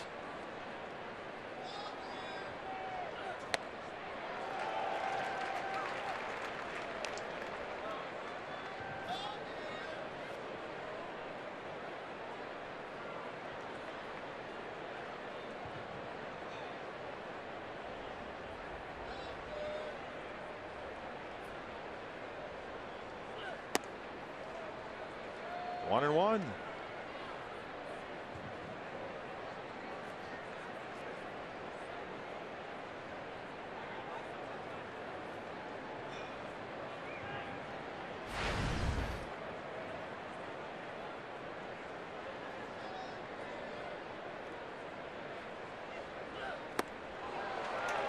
That was a special pitch right there. Slow breaking ball that time by Zack Greinke. Look at that drop. That's called a curve ball, but uh, back in the olden days, they used to call that a drop ball. Christy Mathewson had the fadeaway pitch. Somebody's throwing a drop ball. Well, he dropped Soler right there like a bad habit. Seven strikeouts. Two down in the fifth. That's the kryptonite for Jorge Soler. Off speed pitches, especially if you've got that good arm action on the changeup, the good movement on the curveball. Two down for Addison Russell. Russell ended the first with a ground out, ended the third with a strikeout.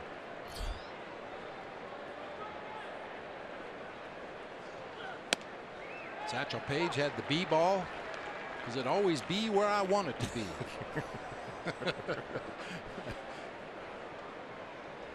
There's a Dizzy Dean that would ask uh, hitters, now what pitch would you like to strike out on?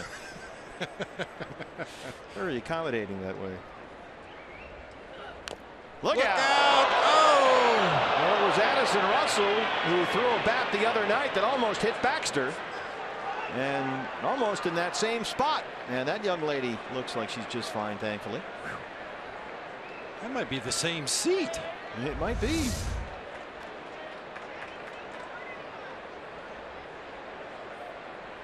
Big crowd here tonight. She didn't spill a drop either. She's got a Randy Johnson hat on. I thought things that said Randy Johnson on them were impervious to bats. I guess that's true. There you go.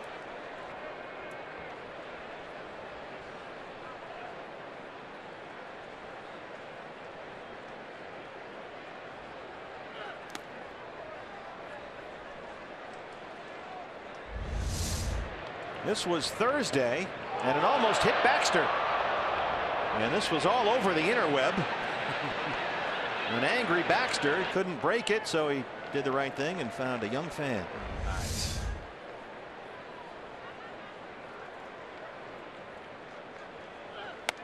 It's like a kid story. Anyway, this cat in a hat gave me a bath.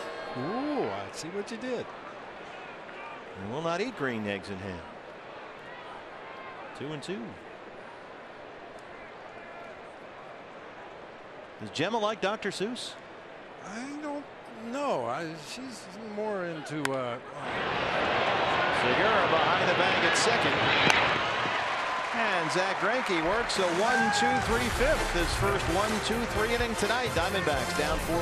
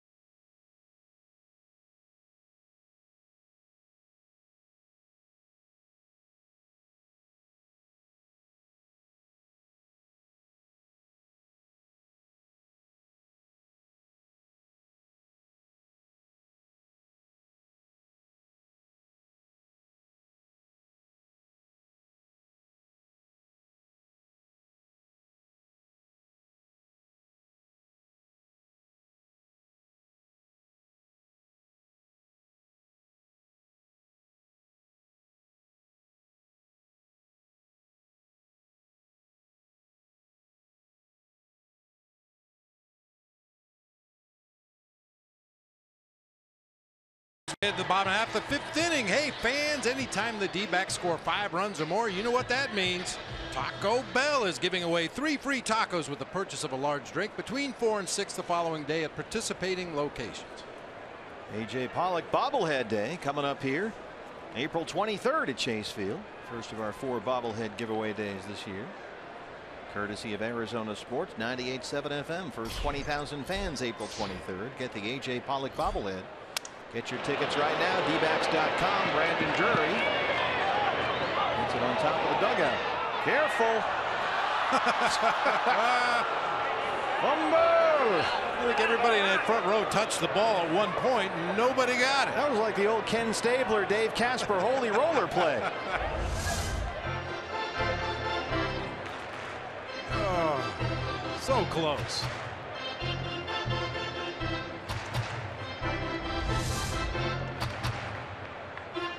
Brandon Single his first time up getting the start at third base tonight.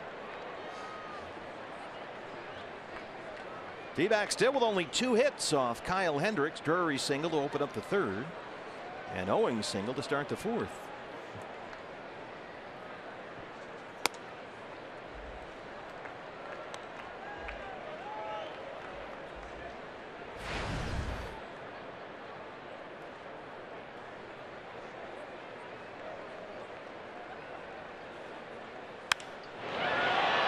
Center Fowler. We mentioned A.J. Pollock. There was news on A.J. today. And for more on that, here's Kate. That's right. AJ was back at the ballpark today, but his arm was in a sling after a three-hour surgery Tuesday for an acute fracture in the elbow on a bone that actually broke before but never truly healed. To fuse it back together, the bone was actually taken some bone was taken from AJ's hip and some hardware was inserted. There is no definite timetable for his return. Best case scenario, he'll return to baseball activities in three months. But the doctor did warn there's a chance he'll be out for the season. But he is hopeful that this time the bone will fuse back together again due to AJ's strong work ethic. I heard Dr. Sheridan say today absolutely no baseball activity for AJ whatsoever for at least three months. That hardware looked like something you would use to repair a hinge on your garage door. Exactly. He's got that in his elbow now. They went in there and found a, a screw from before that was broken when AJ injured that elbow back in 2010 in the minor leagues. And as uh, Kate said, the doctor said that original injury just never healed. And bouncer up the middle, Russell's on it. So no AJ Pollock for a while. In the meantime, Kyle Hendricks is just rolling along here. So far, he's given up just two hits, both singles. Walk one, struck out three. And now with two outs, it's Nick Ahmed.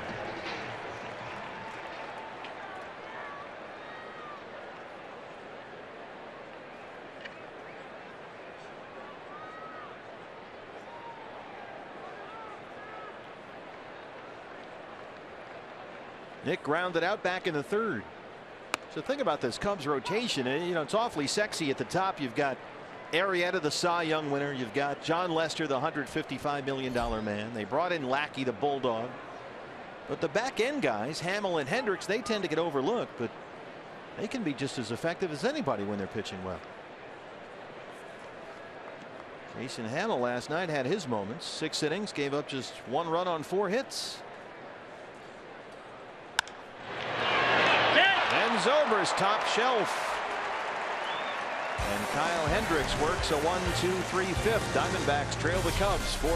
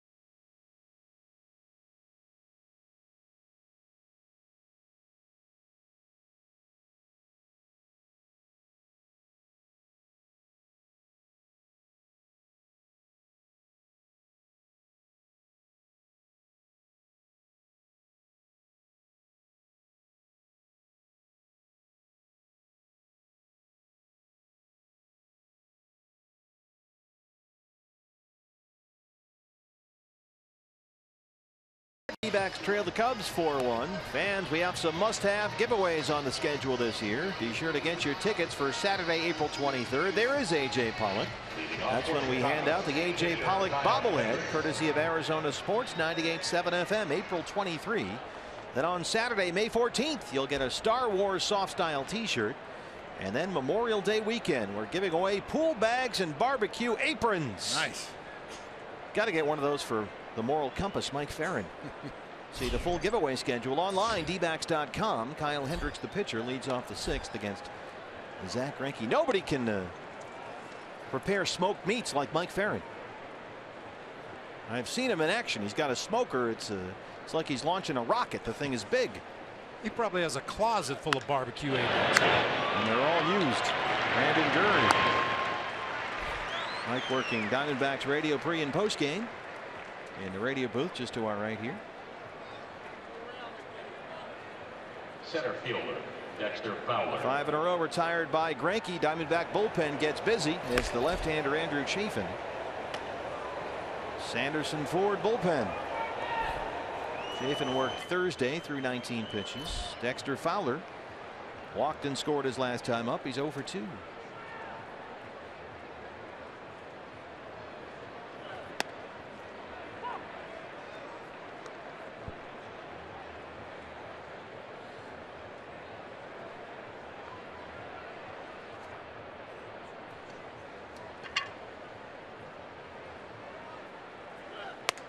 Zack Greinke had a very rocky first inning. The Cubs got three. Fowler led off the ball game with a ground out. Then Heyward singled, Zobrist singled, Rizzo singled, Bryant doubled, Montero a sac fly. Just like that, it was 3 0. But since that first inning, Zack has given up only three hits. This is laced to the right field corner. It's in the bullpen, but foul.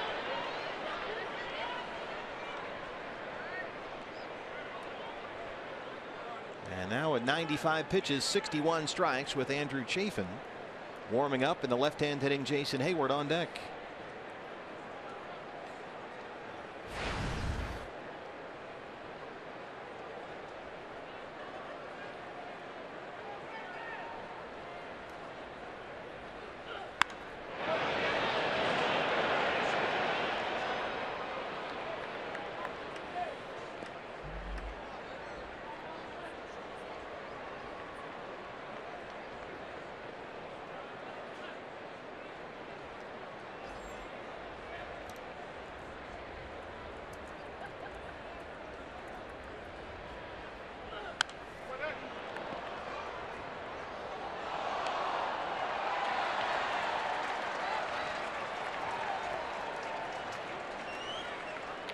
Zack Greinke last year in LA got off to a tremendous start.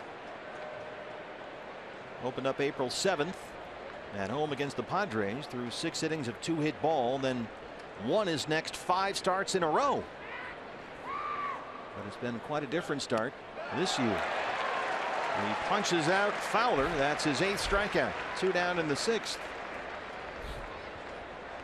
That curveball's become more and more of a weapon for him as we've gotten into the latter stages of this ball game. Starting to command it a little better. Drop that one in there for strike three. Well, let's see if he can close out the sixth inning.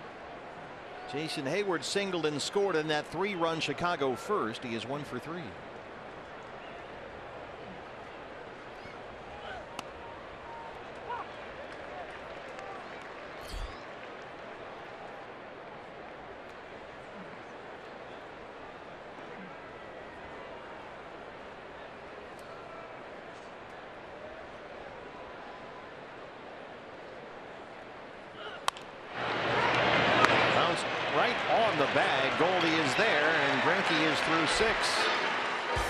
retired the last seven he's faced. He is settled in. Diamondbacks need to get the offense going. They trail it 4-1.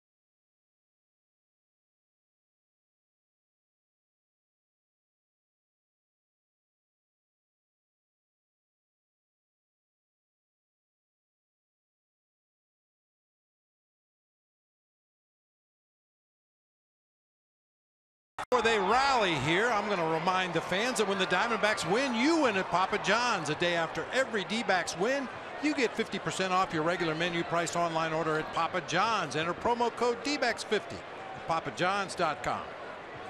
Jean Segura leads it off for the Diamondbacks. Bottom six against Kyle Hendricks, trailing 4 1. Segura so far 0 for 2. He has had at least two hits in every game this year. Well, the reason I said the D-backs were going to rally, if you look at the stats last year for Kyle Hendricks, first two times through the order, he was very effective. First at bat, 228 was the opponent's batting average, 213 for the second at bat. The third at bat of a ball game, it jumped up to 329. Rizzo is there. Well, Joe Maddon has his charts and graphs and the whole thing as well. He looks at his analytics and probably sees the same thing. And so the bullpen will get busy for the Cubs. Even though to this point, Hendricks has given up only two hits. Cahill the righty. And there's Warren. Yeah, Hendricks at 73 pitches right now. Look after 75 pitches last season, the batting average jumped up to 350. Chris Owings singled, stole a base, and scored the Diamondback only run to lead off the fourth. CO in center field tonight, one for two. Diamondbacks fans will remember Armando Reynoso. Armando Reynoso. Was regular as clockwork. He'd get to that 75 pitch mark and forget how to pitch. he would be dazzling for six innings twice through the order and then that third time through you know just uh, they'd seen everything he had to offer and uh, it was tough for him to work past 75 pitches. It's CO right away there. Four strikeouts for Hendricks, two down now, and here's Goldie. Probably out of the zone up that time by CO.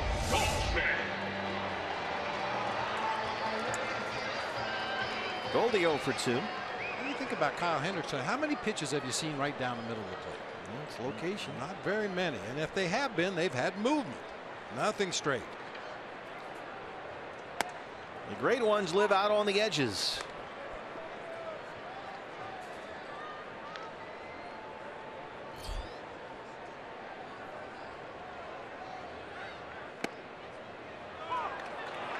Jumps ahead, no balls and two strikes.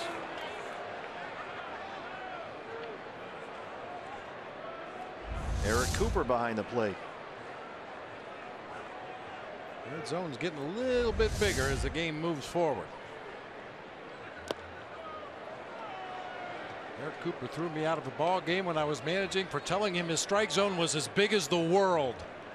Well, that does seem a little unfair. Well, but I didn't swear. I didn't say you. Just use geography. That's all that is. Yeah. I couldn't think of anything bigger at the time than the world. You, you. Bazinga.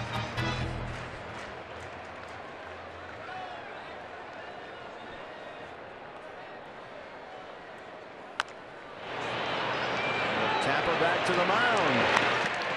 Well, the Diamondbacks just cannot solve the riddle of Kyle Hendricks. Only two hits so far. They trail it 4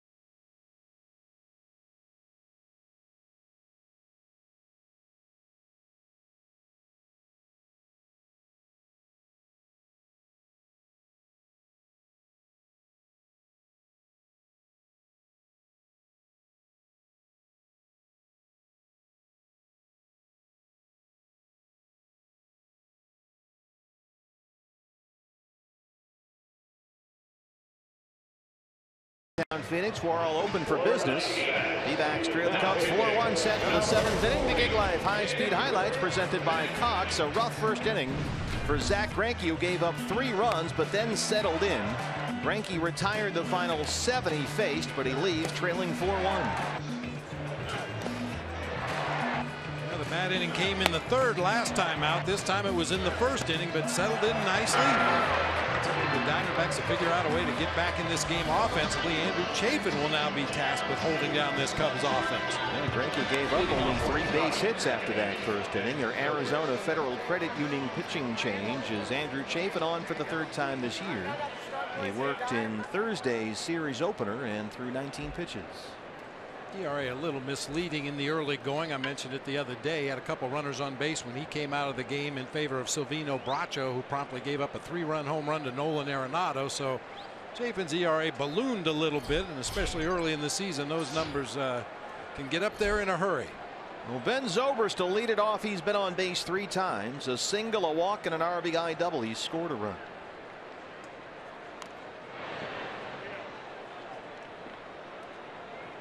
This guy's a pain in the neck. He was hitless last night, still managed to have an RBI. Walked three times in Thursday's ball game.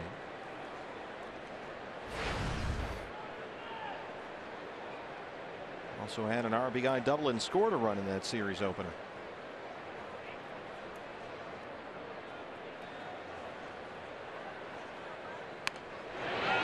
Brandon Drury will charge it. Barehand play. Can't make it. And Zobrist is on base again, the fourth time tonight.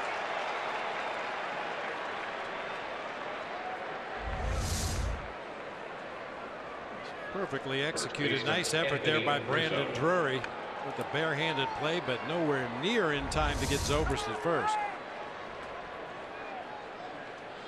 I'm trying to figure out where they want the third baseman here with Zobrist at first. Nobody out for Rizzo. When nobody's on base, they will overshift to the right hand side against Rizzo. And they're trying to move him around like chess pieces right now. Drury still looking in the dugout. And now they have everybody settled in. Matt Williams positioning his infielders. Rizzo had an RBI single and scored in that three run Chicago first. He walked his last time up. There's strike one. Yeah, with this pull shift for a left hander, normally when there's only one defender on the left side of the infield, the Diamondbacks have Nick Ahmed be that one guy. He can cover the most ground. He's used to playing on that left side, but Brandon Drury stays home on that third base side, playing in the hole between third and short.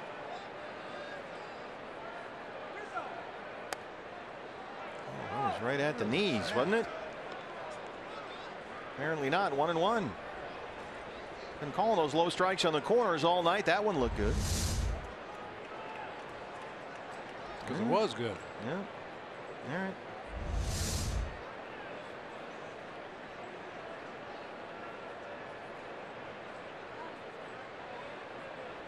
Not as big as the world that time, the strike zone. it's a small world after all. That misses as well, two and one.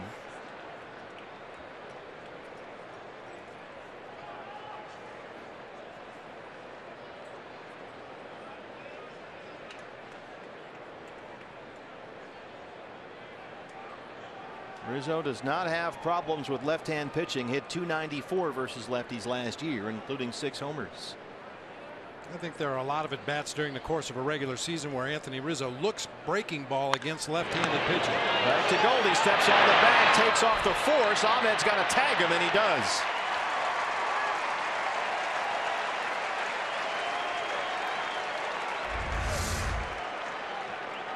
Goldie's throw is in the dirt, which prompts Zobrist to think he can go ahead and advance to second base, but Nick picks it cleanly out of the dirt and applies the tag to complete that double play.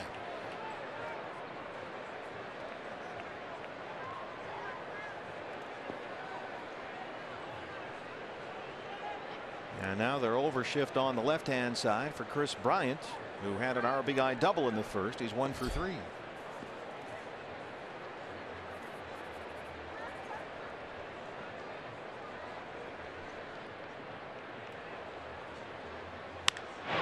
Base hit.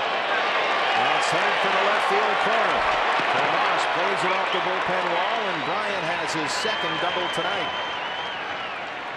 and his third this year.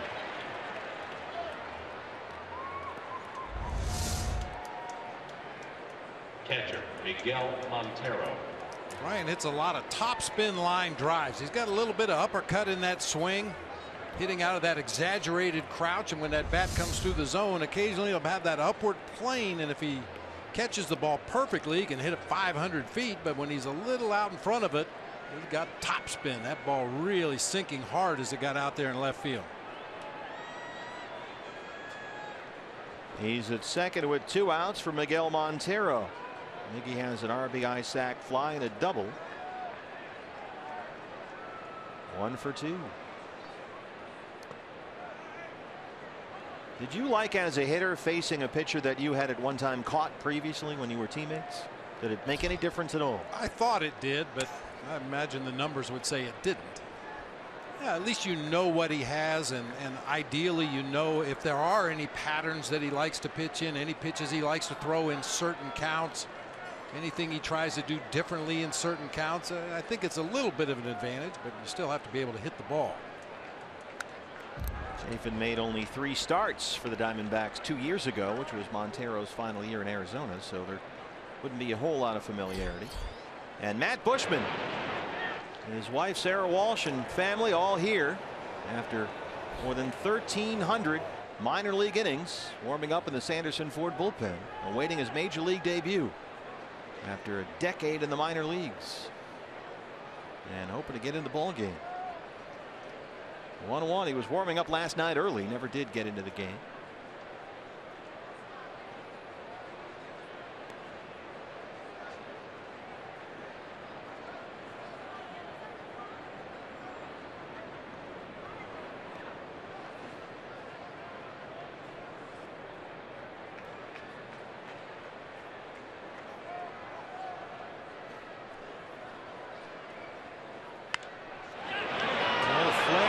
shortstop. Ahmed's got it. And Chafin strands Bryant after the two out double.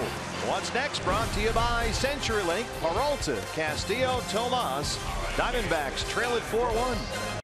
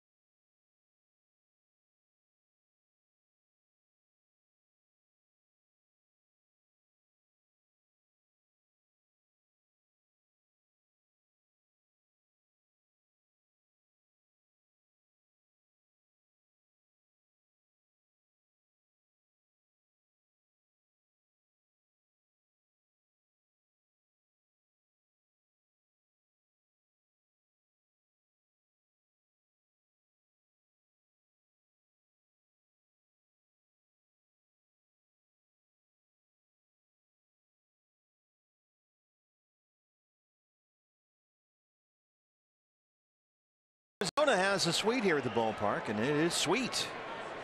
Bottom seven, D-backs trail the Cubs 4-1. Hey fans, this week only T-Mobile customers can get a free season-long subscription to MLB.tv Premium. Just go to T-Mobile.com slash MLB, sign up, and you'll be able to catch every moment on America's fastest-growing LTE network. So here we go, home half of the seven Diamondbacks running out of time. Still only two base hits against Kyle Hendricks. And it's the heart of the order. Peralta, Castillo, Tomas, 4, 5, and 6 in the Arizona 7th. They've been out hit 9 to 2. They trail it 4 1.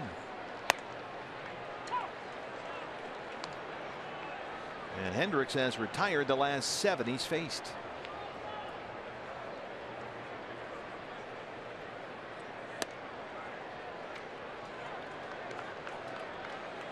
David has struck out and grounded out. He's 0 for 2. Was 0 for 3 with a walk last night.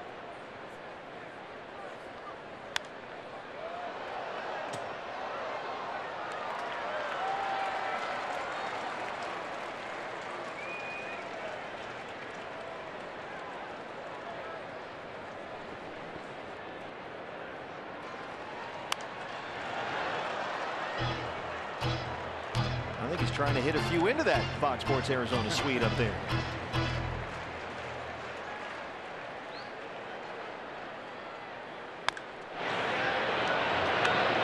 Right in front of Dave McKay at first.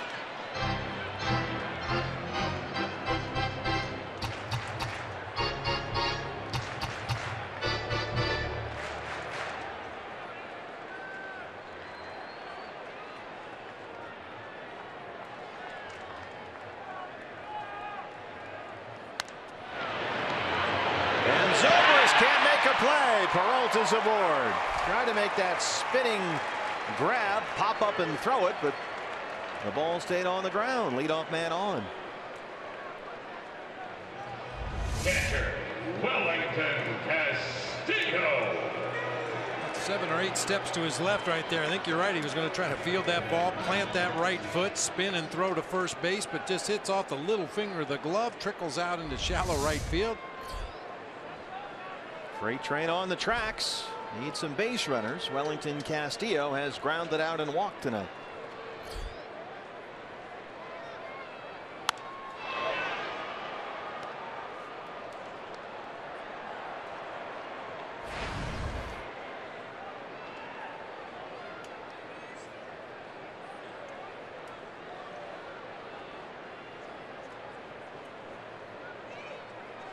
Rubby De La Rosa is throwing in the Diamondback bullpen getting some work in down there.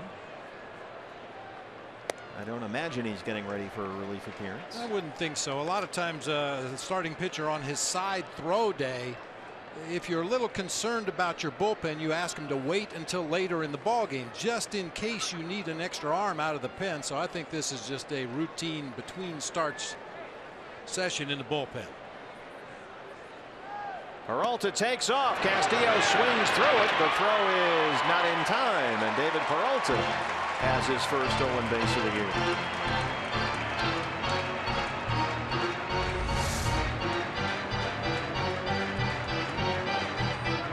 This is something if the Diamondbacks could get a few more base runners on and get the right base runners on, something they could possibly exploit against the Cubs. Hendricks is a little slow to the plate and Miggy's been a little slow unloading the ball. That one bouncing into Zobrist at second base as Peralta slides by safely. And you saw Wellington Castillo with a little Dikembe Mutombo finger wag toward the Cub dugout. Called strike three. Eric Cooper rings him up. Five strikeouts for Hendricks.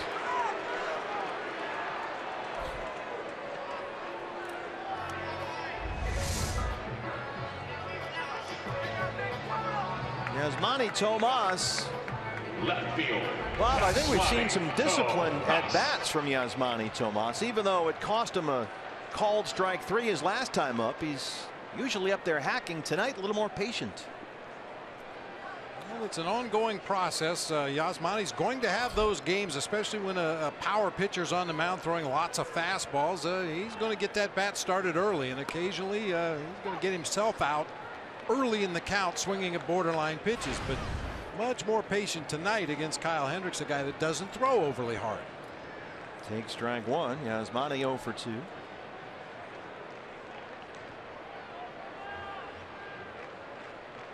Last time he was rung up on a pitch by Kyle Hendricks that was out of the strike zone, but Eric Cooper said strike three.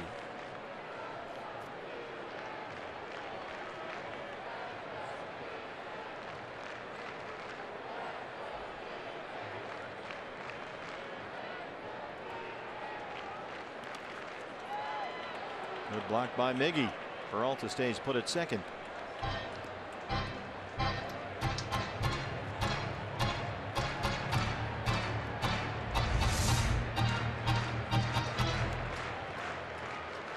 Got that shoulder out there. Hitters count here for Tomas two and one.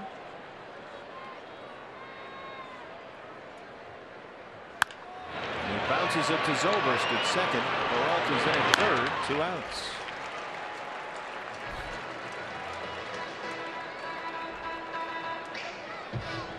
Third baseman, Brandon. Well, Brandon Drury trying to get that run home from third. Brandon has singled and flied out. He's one for two, getting the start at third base tonight.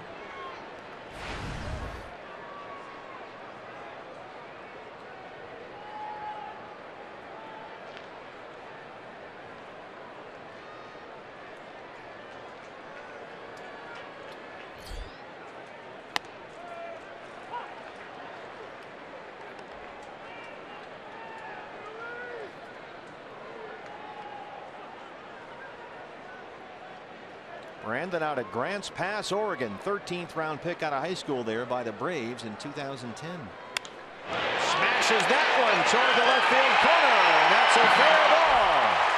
Peralta scores. It's 4-2 an RBI double for Brandon Drury. His second hit tonight. And that's the guy we saw all spring long.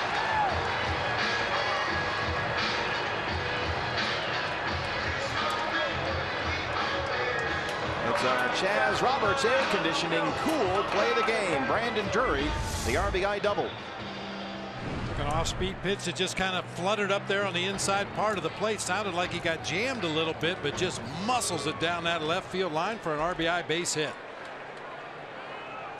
Joe Maddon has seen enough. He's got everything you could ask for out of Kyle Hendricks tonight. And he will leave leading 4-2, but the Diamondbacks have the tying run at the plate with two outs in the seventh. Pitching change at Chase Field 4-2 ball game back after this.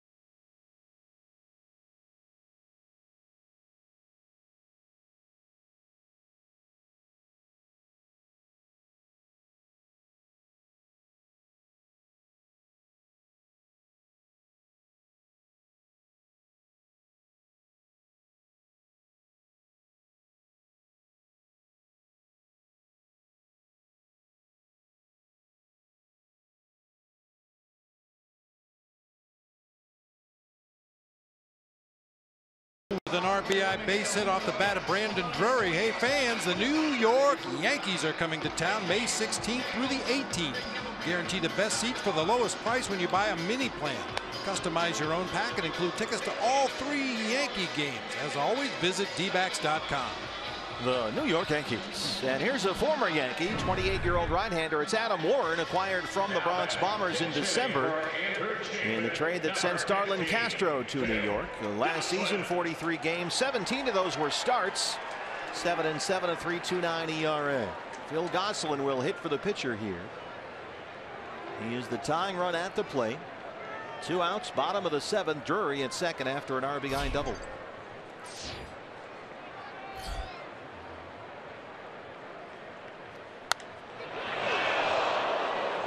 That went into the camera well down there. Awfully hard. Hope everybody's okay.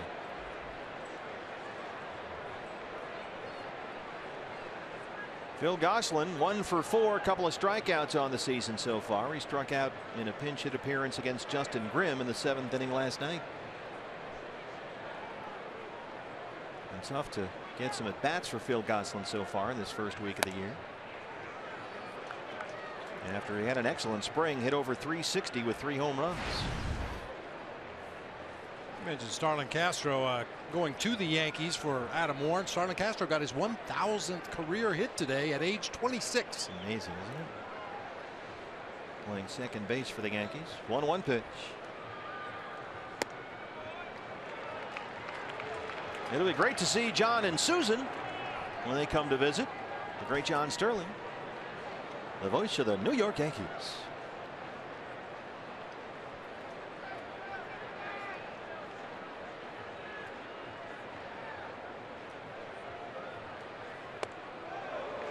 Three and one now. Gosselin ahead.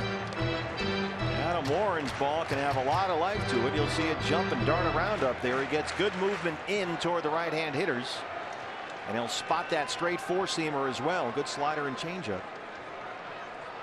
But he's behind now. Three balls and a strike with Drury at second.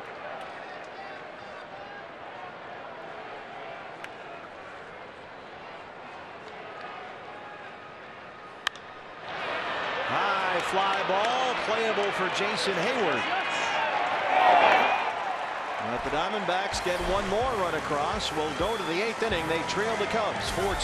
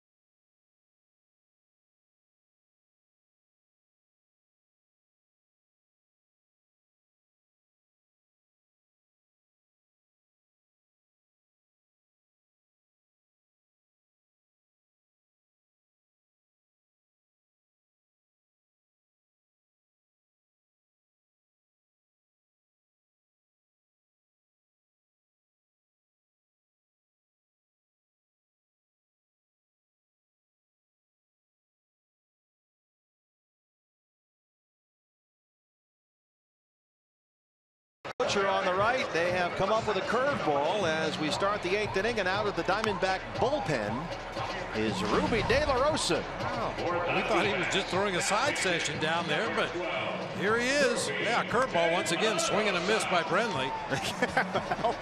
Rubby started the series opener here Thursday night when three and a third gave up seven runs. Six were earned on six hits. He threw 70 pitches, and here he is on in relief to open up the eighth inning. And he'll face the Cubs' Jorge Soler. So uh, can't wait to hear Chip Hale's post-game comments. Stay tuned for those on Diamondback Live post-game show. We'll find out what's the deal with that. You know the bullpen is a little uh, short-handed. Matt Buschmann was back there uh, that they brought up from the minor leagues for some length. And Rubby was warming up down there for a good while in the bullpen. Well, with the off day Monday, everybody gets an extra day of rest between starts. And since Rubby had such a short outing uh, his first time out, uh, a little extra work here, possibly in preparation for his next start.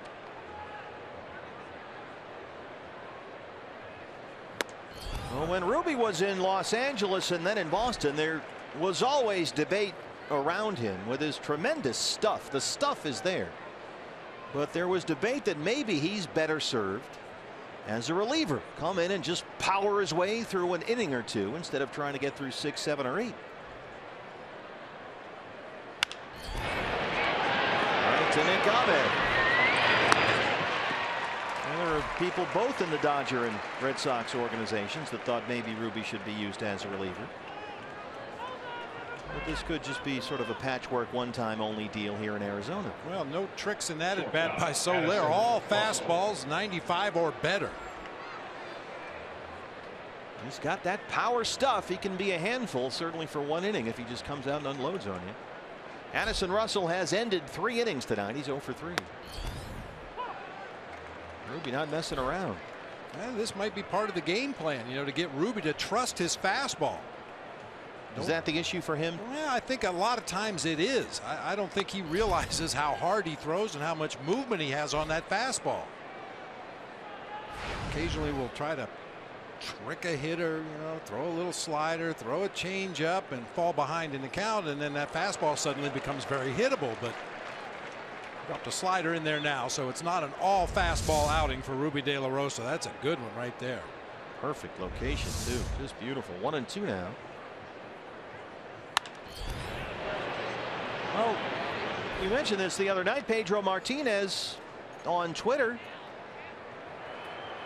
Got, Pedro's been on the social media a lot lately, talking about the Diamondbacks. But Pedro, who knows Rubby and knew him growing up, said Rubby thinks too much, overuses his pitches. He doesn't realize how great a stuff he has and doesn't trust it. Whew.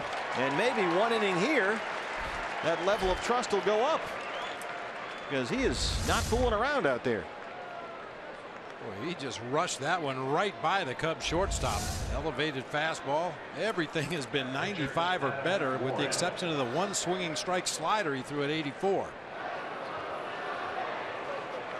Well, Adam Warren, the pitcher, will take the at bat here with two outs in the eighth inning. Heads up on that right side. Anytime you have a guy on the mound throwing as hard as Rubby is tonight and a pitcher that's not used to hitting at the plate, good chance you're going to see some foul balls to that right side if he makes contact. Yep, there's another one. Chip Hale was asked about Pedro Martinez's take on Rubby, and Chip said uh, he thought it was spot on. That Rubby just trust your stuff. Let the catcher put a sign down and let it go because the stuff is good enough to beat the hitter. No matter what the pitch is.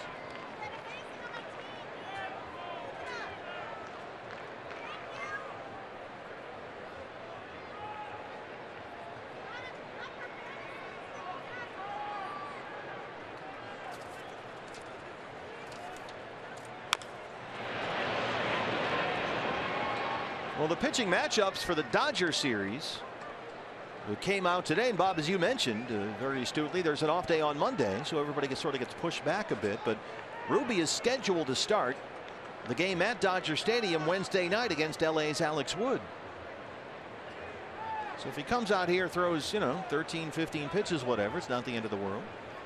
Certainly if it boosts his confidence. Called strike three. Ring him up and sit him down. Two strikeouts in the inning. The relief appearance for Rubby De La Rosa.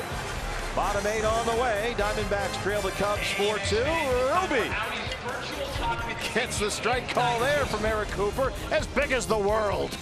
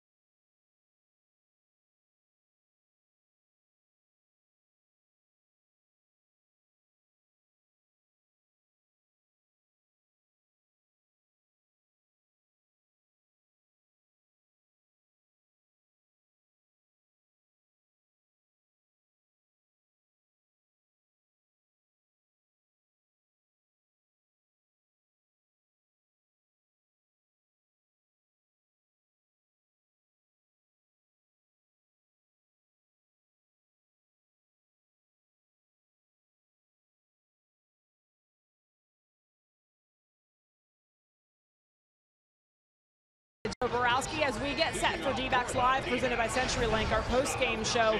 Joe, the D-backs trying to claw back into this game, but I know in the post-game we're going to look hard at Zack Greinke's outing. Again, the theme, one big inning against Greinke. What will you look at? Jody, you often hear me say pitching is like real estate. It's all about location, location, location.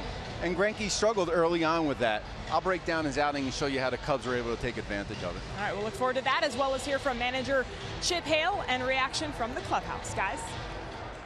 Thanks very much, Joe and Jody coming up right after our ball game here as Nick Ahmed leads off the Arizona eighth against Adam Warren. Ahmed Segura Owings 9-1 and 2. Diamondbacks trail at 4-2. Adam Warren prior to last year had been a very dependable part of the Yankee bullpen 69 appearances two years ago for New York all in relief and had an ERA under three.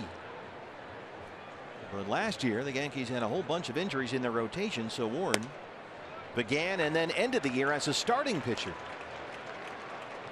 Worked out of the bullpen in the middle of the season as a starter last year he wasn't nearly as effective. But he's been a very dependable arm for the Yankees last couple of years in the bullpen. So the Cubs gave up Starlin Castro to bring him here. And down the road he might start for Chicago but right now he's a big piece of this bullpen in 2016. And as a former starting pitcher, possibly a future starting pitcher, he has a four pitch mix. He's got a good sinking, tailing fastball, good changeup, throws a curve and a slider.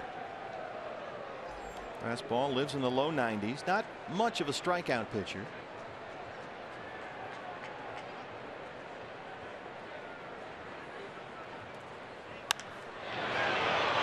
Fly ball for Heyward in right, back it up at the track. One down. Sanderson Ford bullpen. Brad Ziegler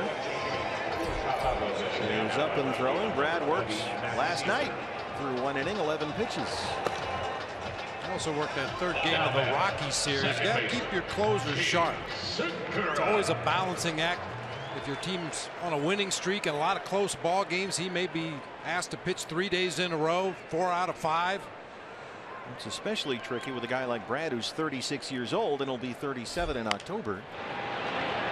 That's a fair ball. Long throw for Bryant and they get Segura.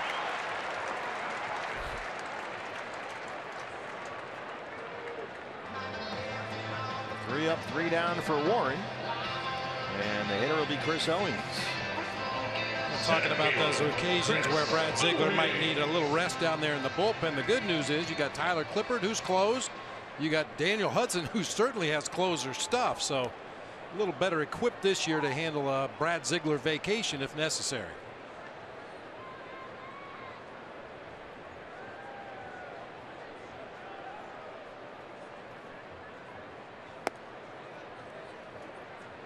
Chris Owings singled, stole a base, and scored a run in the fourth. He's one for three tonight.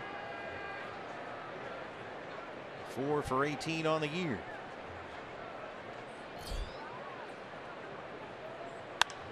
Toward the right field corner and drifting into the seats. One and one.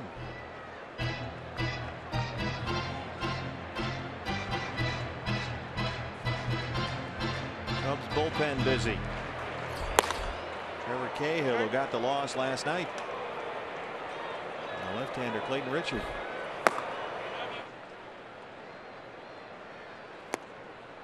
Two and one on CO.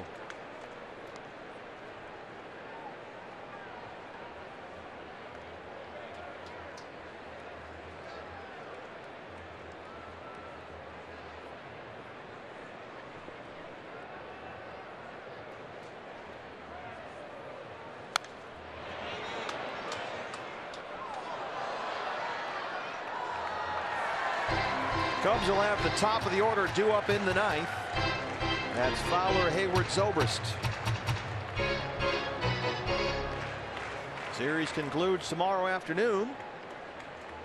110 first pitch on Fox Sports Arizona. Shelby Miller against Cy Young winner Jake Arrieta. Fly ball, shallow, right center. Zobrist calling for it. Heyward calls him off, and Warren retires all four that he faces. A 1-2-3-8. Ninth inning we go. Diamondbacks down two.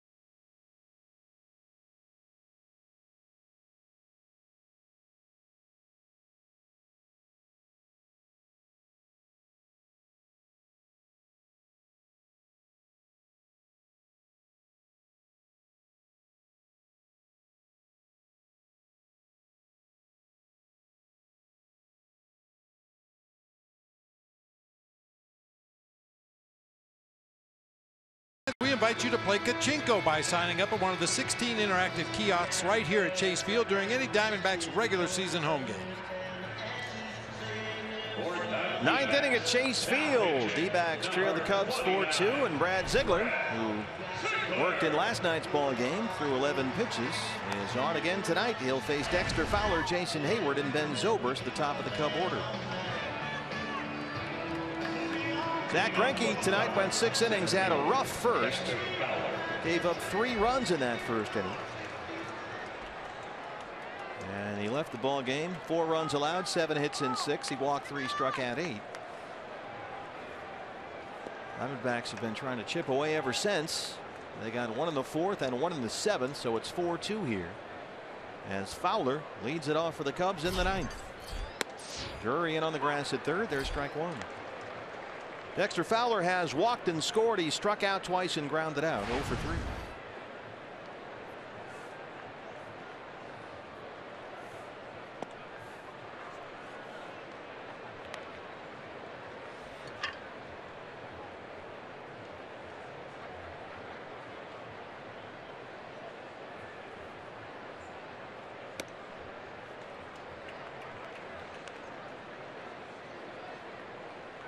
Kyle Hendricks was terrific tonight for Chicago.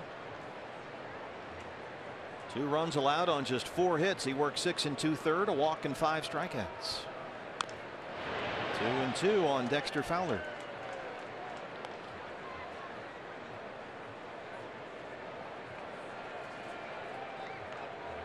Brad Ziegler.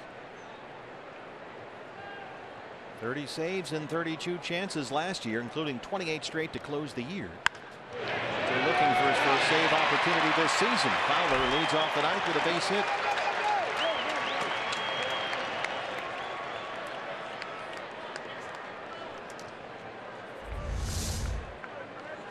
See Nick cheating up the middle of the field just a little bit, but can't quite get to that one as it shoots right off the mound just to the right of second base on into center field. Jason Heyward singled and scored as part of that three run Chicago first. He is one for four.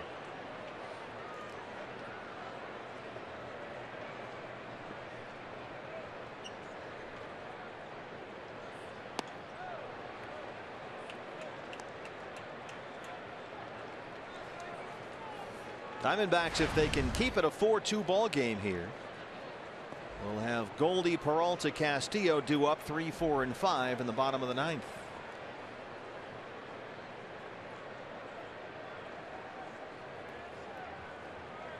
Oh. That is yanked toward the right field corner, but foul. Well, it goes without saying, a very small sample size, only two at bats between these two guys. But Jason Heyward with a single and a home run. Brad Ziegler just doesn't give up many home runs because of that tailing sinking action on the submarine delivery.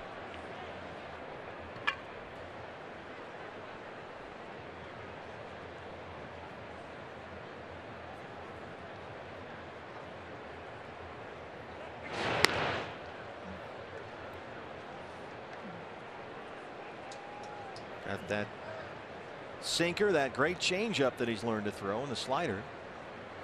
That changeup has become a real weapon for Brad. Hitters just don't see that type of pitch from this type of delivery very often. Might be a good time to throw one. Yeah. Hit him in the leg.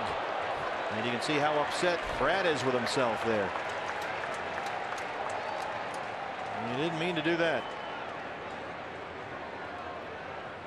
Second baseman, Ben.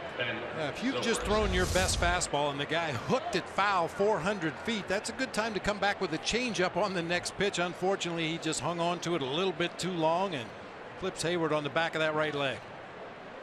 And now you got real trouble here because Zobrist has reached base safely every time he's been up there tonight. Three hits and a walk.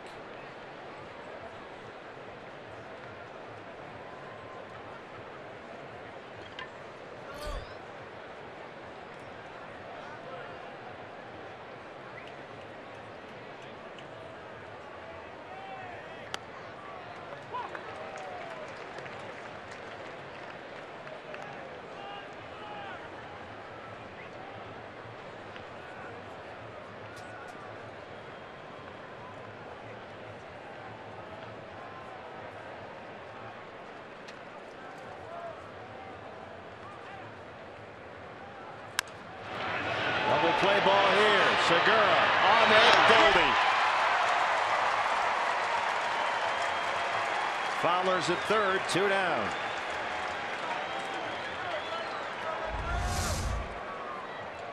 That's why you love Brad Ziegler late in ball games. Rarely gives up fly balls, rarely gives up home runs. More often than not, you're going to get that ground ball. And with this airtight defense on the infield behind him, that's usually what happens. All right, now here's the million dollar question. You want to work to the lefty Rizzo or the righty Bryant here with first and second open and two outs?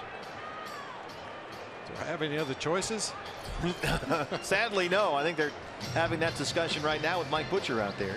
Don't forget Diamondback Live post-game show follows our ball game. Joe Borowski, Jody Jackson. Brought to you by CenturyLink. You'll hear from D-backs manager Chip Hale, who tonight used Rubby De La Rosa out of the bullpen to work a 1-2-3 eighth inning. You'll hear Chip talk about that and other aspects of tonight's ball game coming up next. Diamondback Live post-game show. Really not enough history to base anything on. Rizzo's had one at bat. So has Kris Bryant against Brad Ziegler. Both 0 for 1. And they're going to take their chances with the right hander. Bryant, as we've discussed, is far more susceptible to the strikeout, and you have the righty righty matchup. And Rizzo has been a Diamondback killer. He had an RBI single in the first, so in 32 career games against the D-backs, Rizzo has 28 RBIs. And Bryant, who led the league in strikeouts last year, is on deck, so he'll take their chances with him. Yeah, Rizzo four for eight in the early part of the season here with runners in scoring position. So uh, I absolutely wholeheartedly agree with this decision. That makes me nervous. yeah. so there you go. The free pass. They're on the corners with two outs for the defending National League Rookie of the Year. Third baseman. I guess I should say reigning National League Rookie of the Year. You can't really defend that title. Bryant, two for four, a pair of doubles. He's knocked in a run. So here we go. Two on and two out, ninth inning.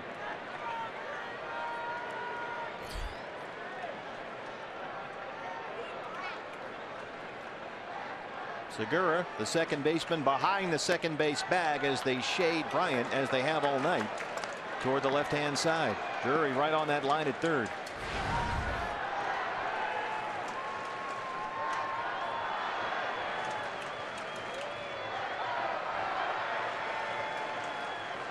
Remember, he can get down there in that crouch and get to a low ball. Big guy up there at 6'5. But he will reach down and get it. So you got to be careful. 2 0.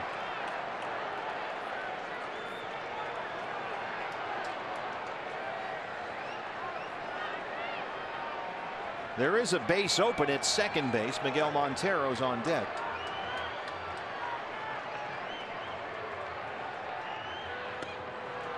Drops it in there for strike one.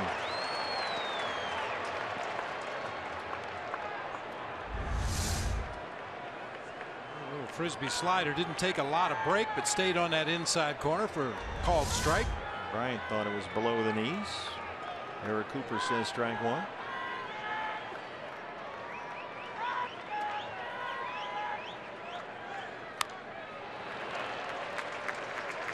Two and two.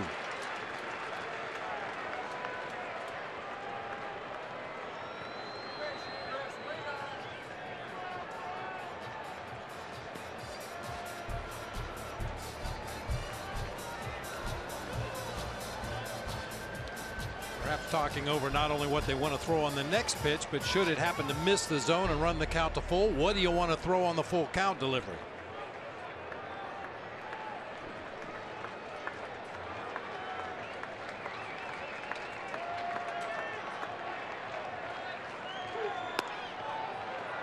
Get him to bite, and it does indeed go full three and two. Dexter Fowler is the runner at third. And Anthony Rizzo at first. Two outs, three balls, two strikes to Kris Bryant.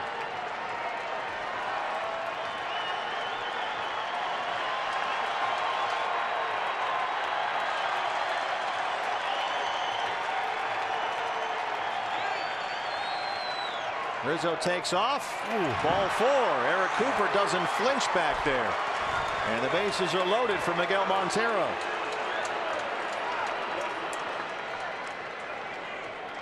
Catcher, Miguel Brad Ziegler using sinkers and sliders here against Chris Brown. He misses with the first two sinkers down below the bottom of the zone. Comes back with that slider. We got the benefit of the doubt on the call right there. Foul ball on a sinker. Tries to lead him out of the zone with that slider. And that last one was low.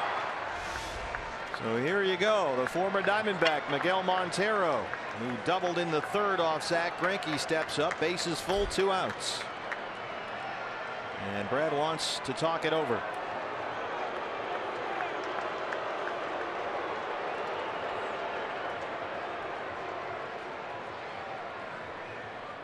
And if anybody knows Brad Ziegler, it's Miguel Montero.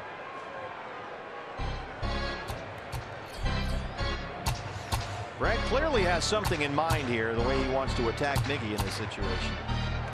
Don't forget, series finale tomorrow, Diamondback Live pregame show at 12:30. Shelby Miller versus Jake Arrieta. Fowler at third here. Rizzo at second and Bryant at first.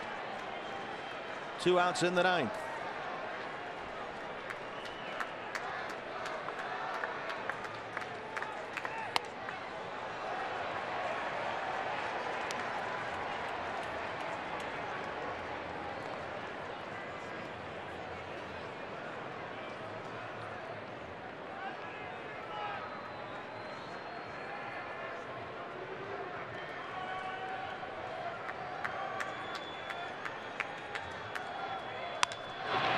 Jean Segura. Brad Ziegler leaves him loaded. It's a two-run ball game as we head to the home half of the ninth, and Goldie leads it off.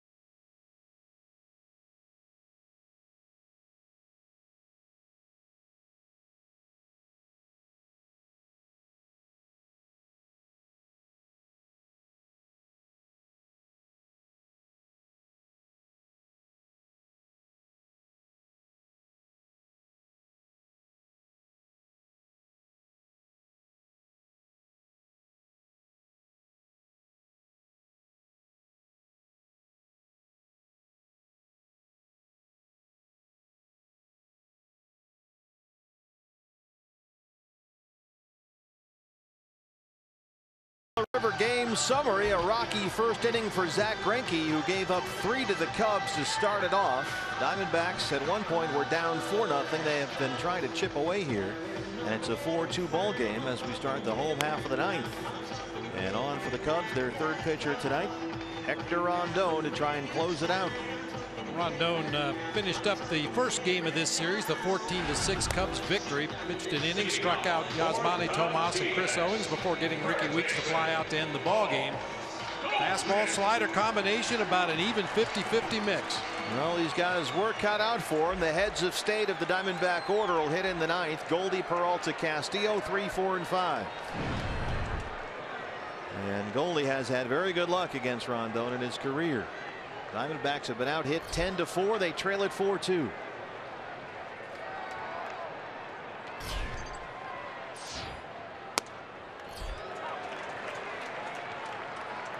Goldie tonight 0 for 3.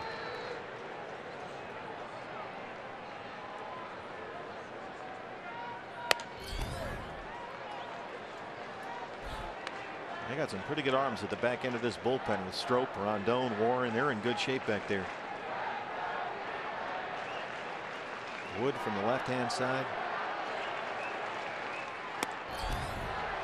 96 is in there, says Eric Cooper, and Goldie's down one and two. An erratic strike zone tonight. Yeah, to say the least. Oh man. Off the plate away at 96.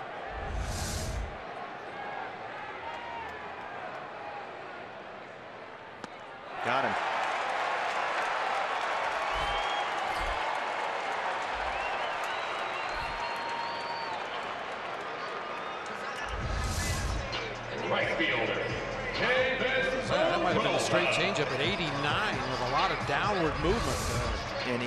Into the right hander. yeah. You don't see a lot of pitches that move like that at that velocity. Here's David Peralta now. Singled, stole a base, and scored a run his last time up. Yeah. Zobrist at second on the high hop. Two down. Don't forget, stay tuned. Diamondback Live postgame show. Joe Borowski standing by with Jody Jackson. They'll have Chip Hale's postgame news conference. And going to listen to Chip give his explanation for Rudy Rubby De La Rosa's relief appearance here tonight, among other things. So that'll be interesting. And look ahead to tomorrow. What a pitching matchup that'll be in the series finale. Shelby Miller and Jake Arrieta. But first, Wellington Castillo, and then hopefully more. Welly 0 for 2. He walked in the fourth.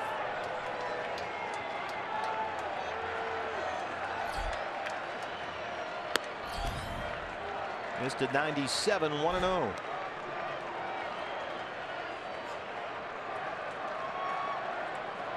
Need a base runner here. Loop and a blast.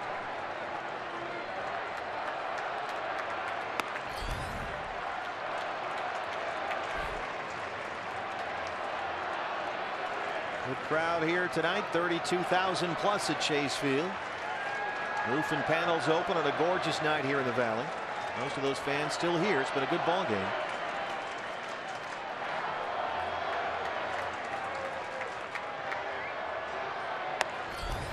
And they're at 95, 2 and 1.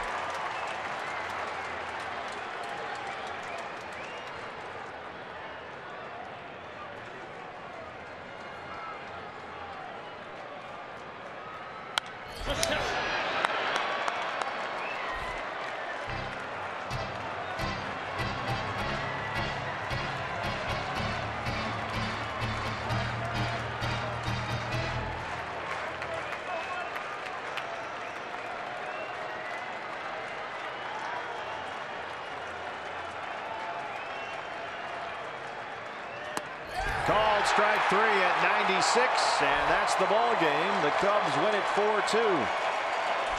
And the Diamondbacks will look to Shelby Miller tomorrow to try and salvage a four-game split up against the reigning Cy Young winner Jake Arrieta.